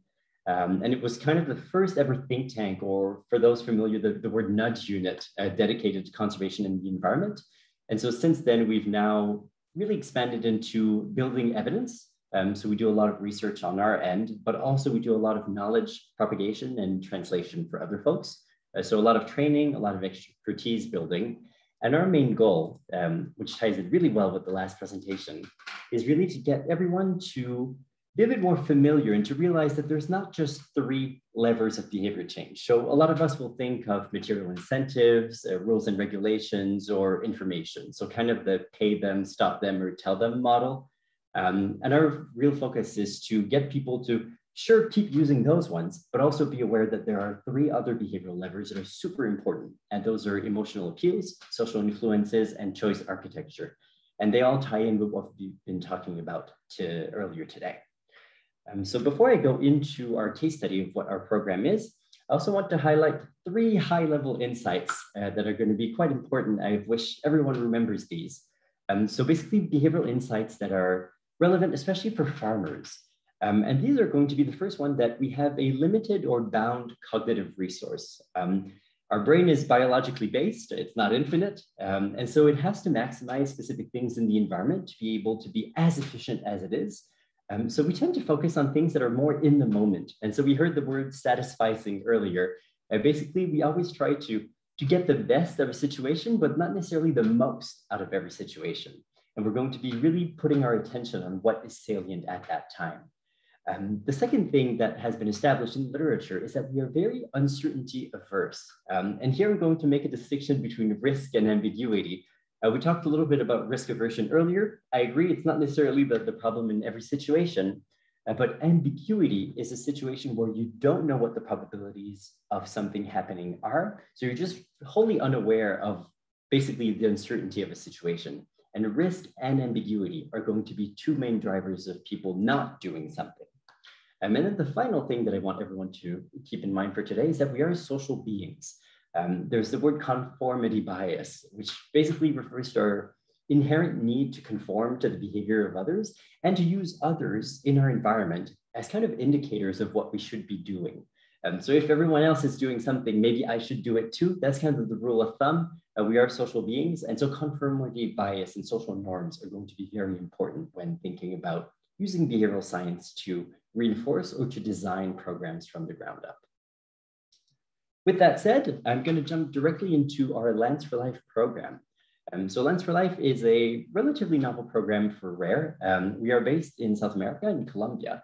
And the whole goal of the program basically is to align agricultural ecosystems, um, agricultural productivity with ecosystem productivity, sorry. Um, and so we work with small to medium scale Colombian farmers. Um, so again, step it back from Asia, but here you'll see kind of the logic that uh, I want everyone to take away. Um, so we work in Norte de Santander. Um, it's a province in the upper right part of Colombia. I'm sure everyone can see it on the, on the map. It's right on the border with Venezuela. Um, and so we started our program there and now we are expanding actually towards the Amazon. Uh, but I'll be showing you basically insights that we got from that initial province um, from where we shaped our thinking of the program. So the simplest problem we could think of um, when getting there was that we're trying to basically switch some farming behaviors from what is currently being done to some novel behaviors that are not necessarily as proven for farmers.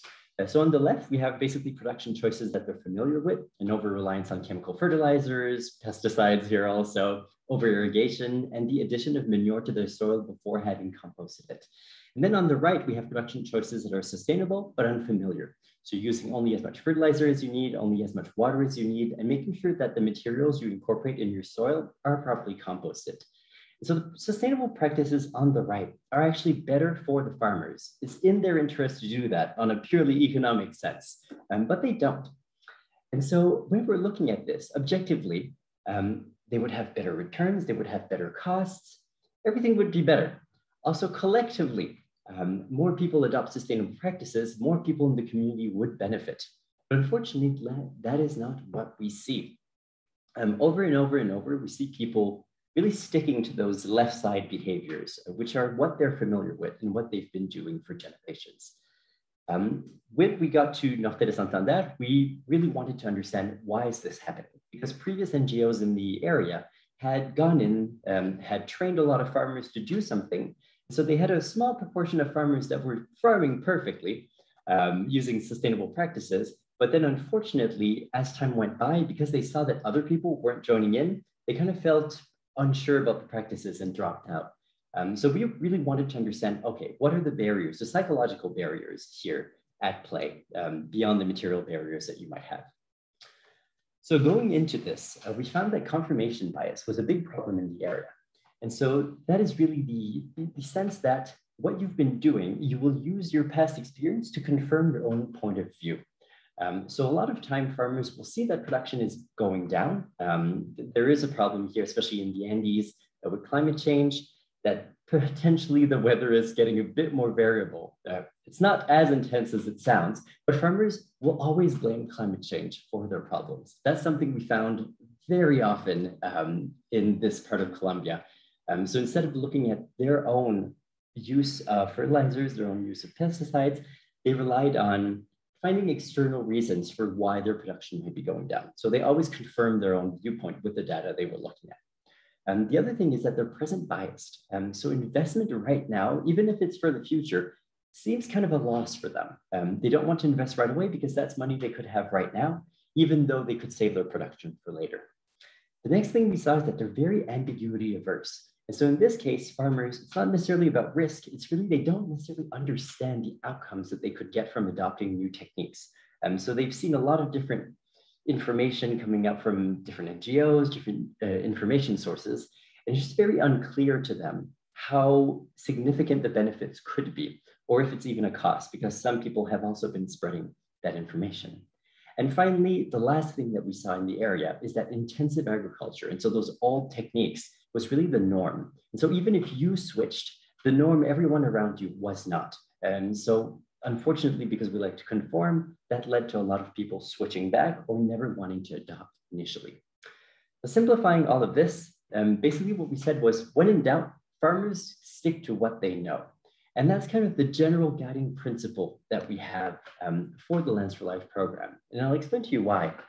Um, putting farmers on a resistance to ambiguity scale or a resistance to change scale has been very, very useful in structuring how we use behavioral insights and then how we use different behavioral levers to target different farmers. Um, so if you think of this as a continuum, I'm just going to broadly define farmers in through different strata. The first one would be low resistance farmers. And those would be the farmers that generally engage with NGOs. Um, they're the farmers that are most easily to easy to convince, and they like to try new things. Um, again, broad swath of the population, but it's good to be able to identify people in their resistance to ambiguity or resistance to change um, variable. The next group that we have would be the moderate resistance farmers.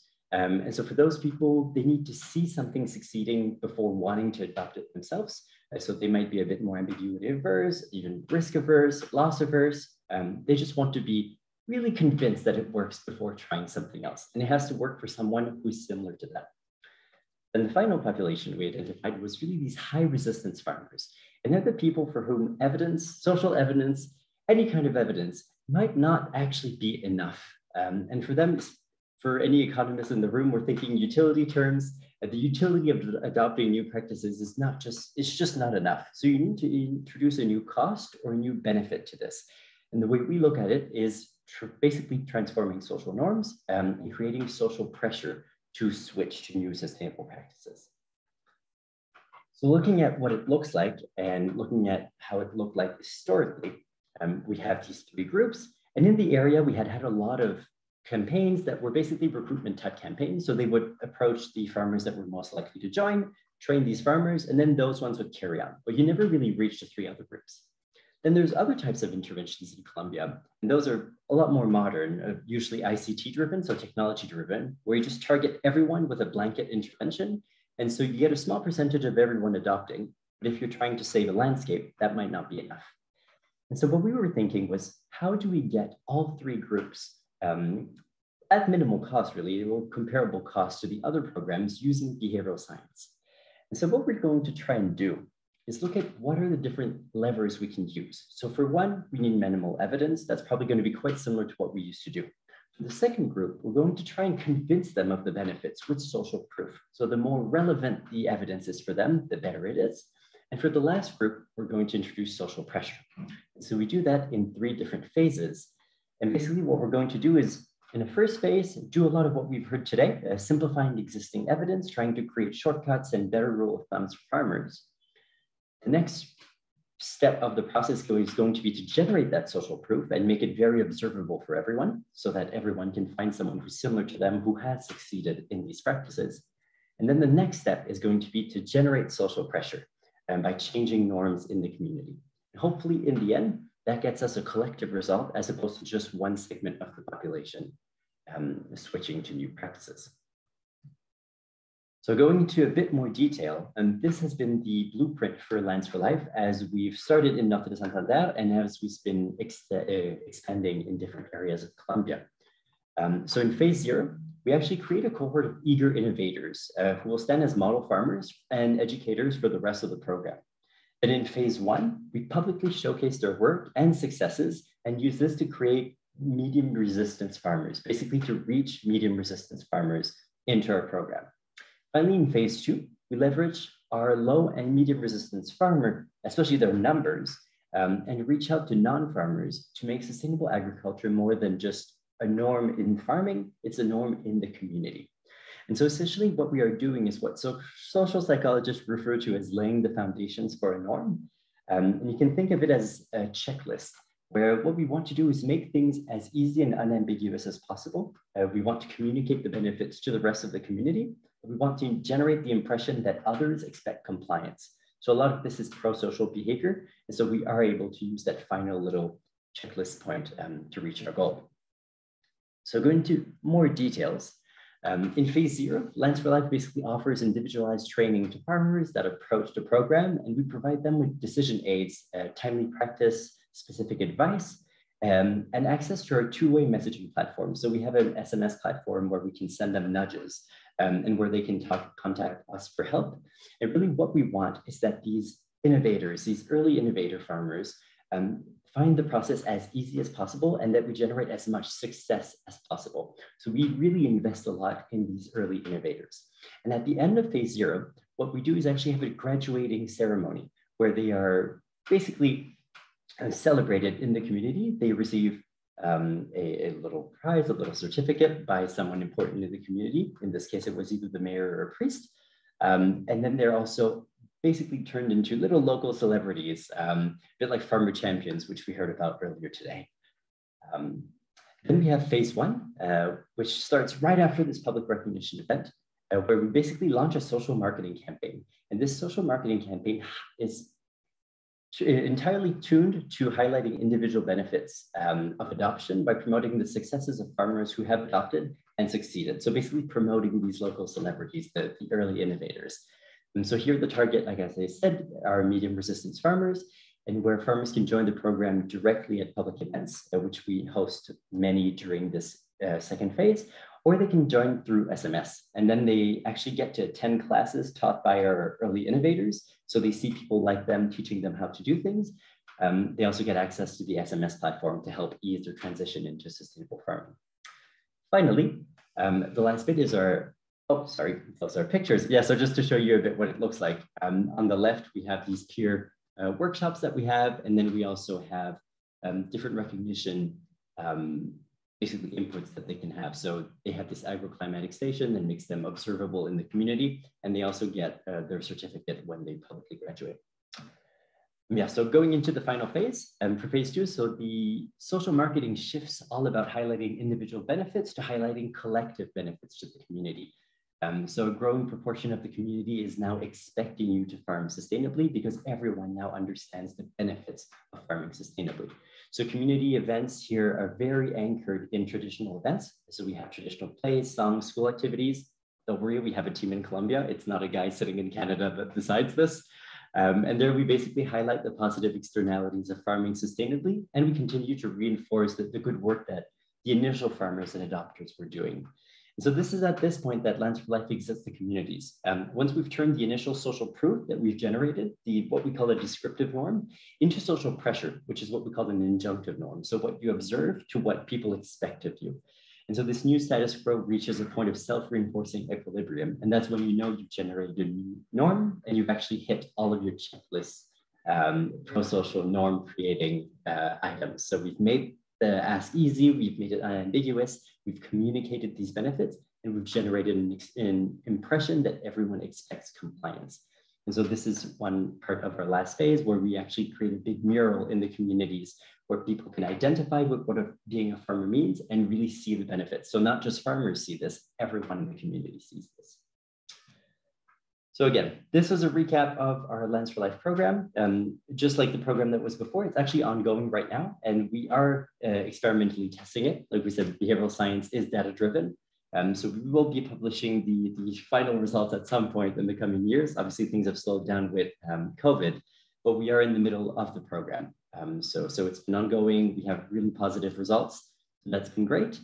And for everyone who's been listening, if there are three things that I can ask everyone to try and retain uh, at the end of this are just the three insights that I had before and thinking about how we can address these with different behavioral interventions as opposed to just paying people, um, teaching people how to do things with information or policing people.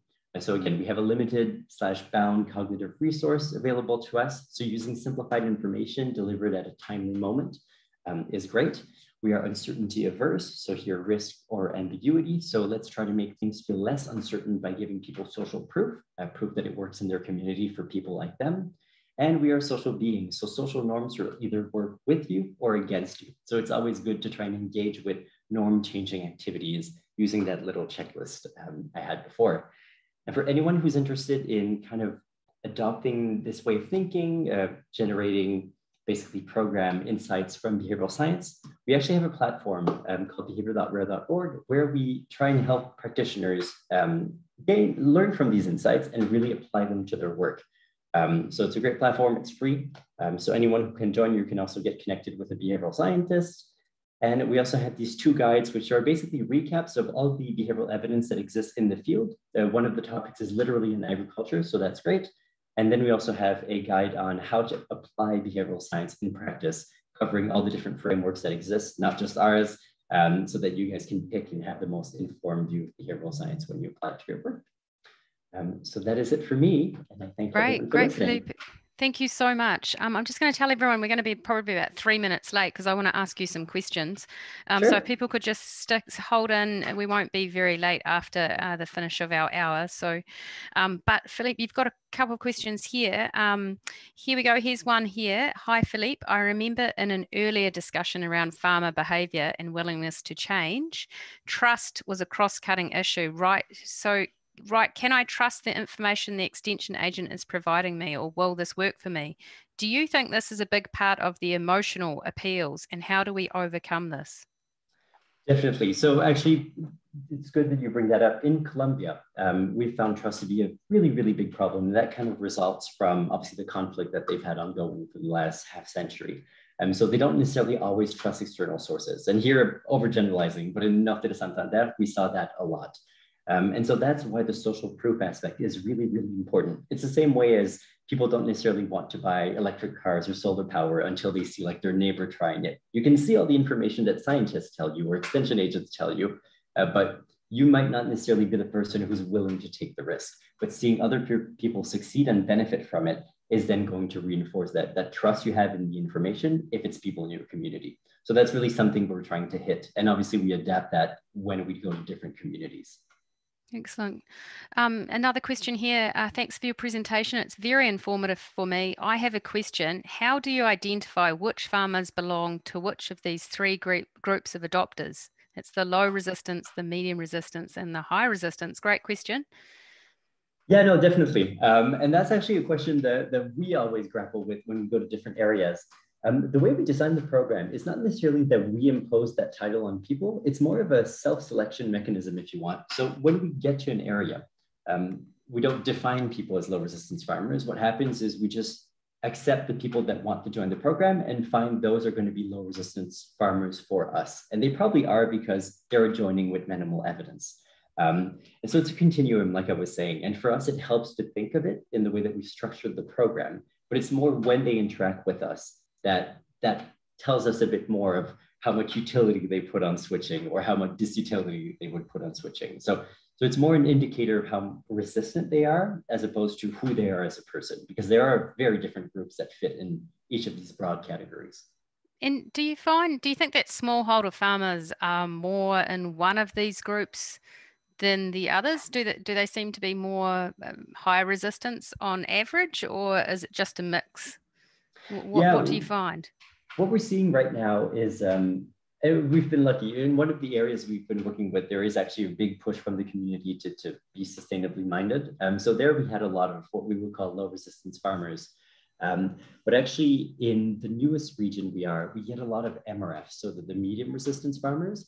And so we didn't have a huge chunk of the population join initially, but the social marketing is proving to be very, very effective. Um, so, so yeah, there's no clear distinction or why would it be a problem if, if one happens or not. We just need to basically be adaptable.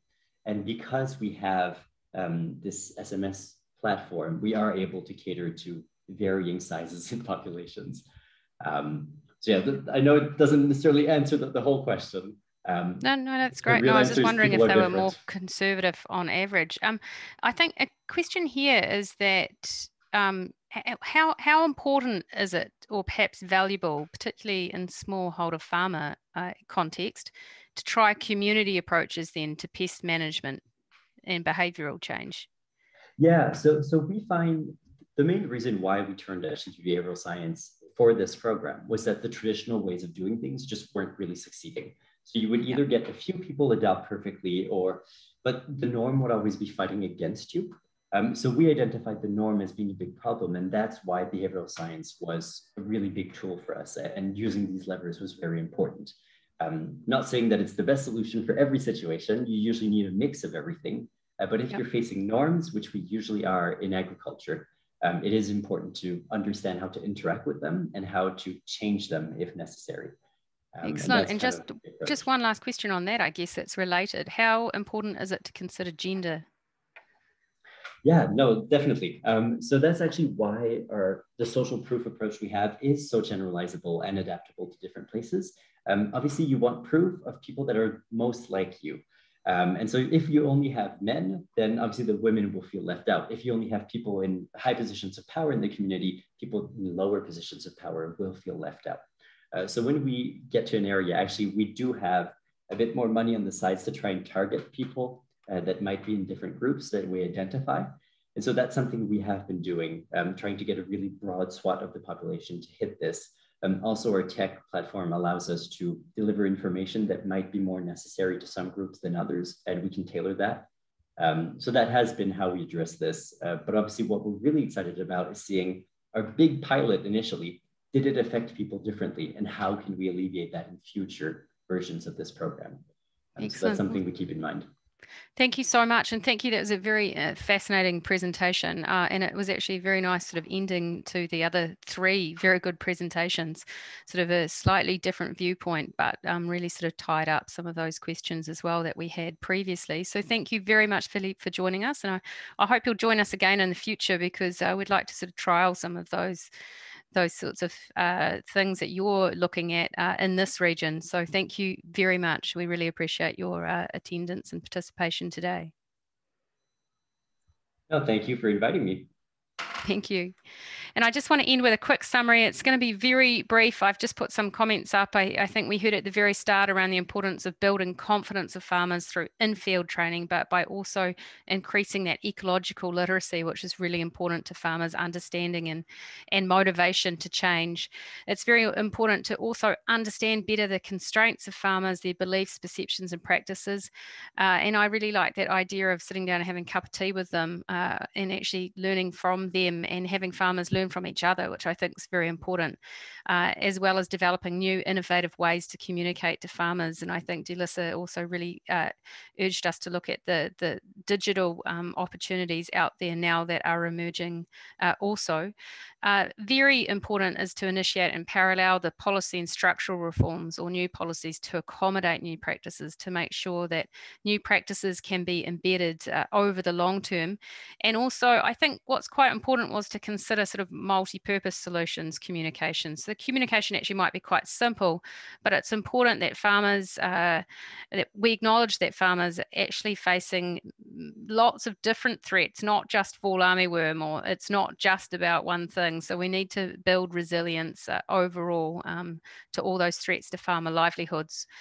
Uh, last two things, actually, there's quite a few things in these two paragraphs, but understanding the farmer, uh, the behavior of farmers and what drives farmer decision making before designing communication interventions is really important.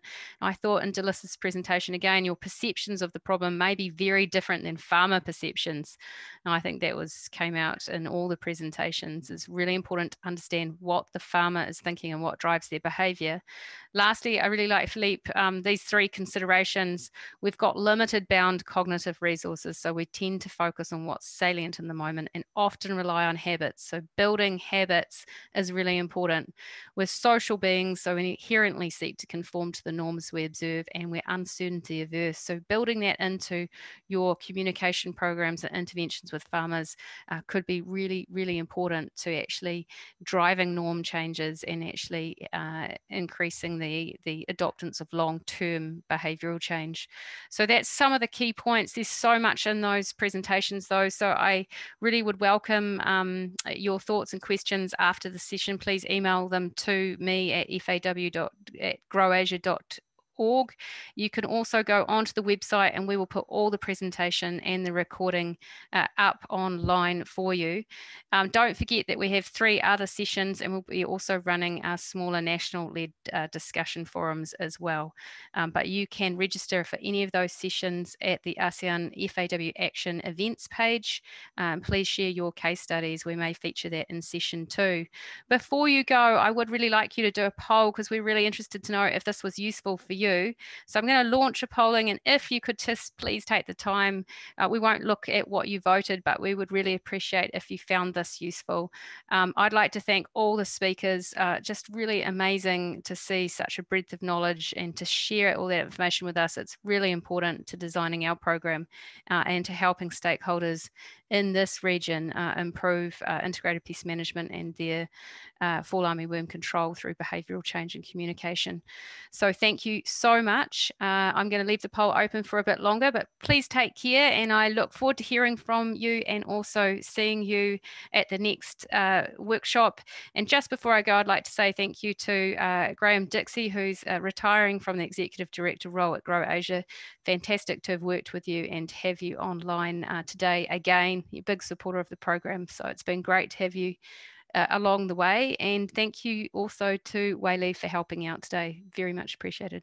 Thank you, everyone. Take care.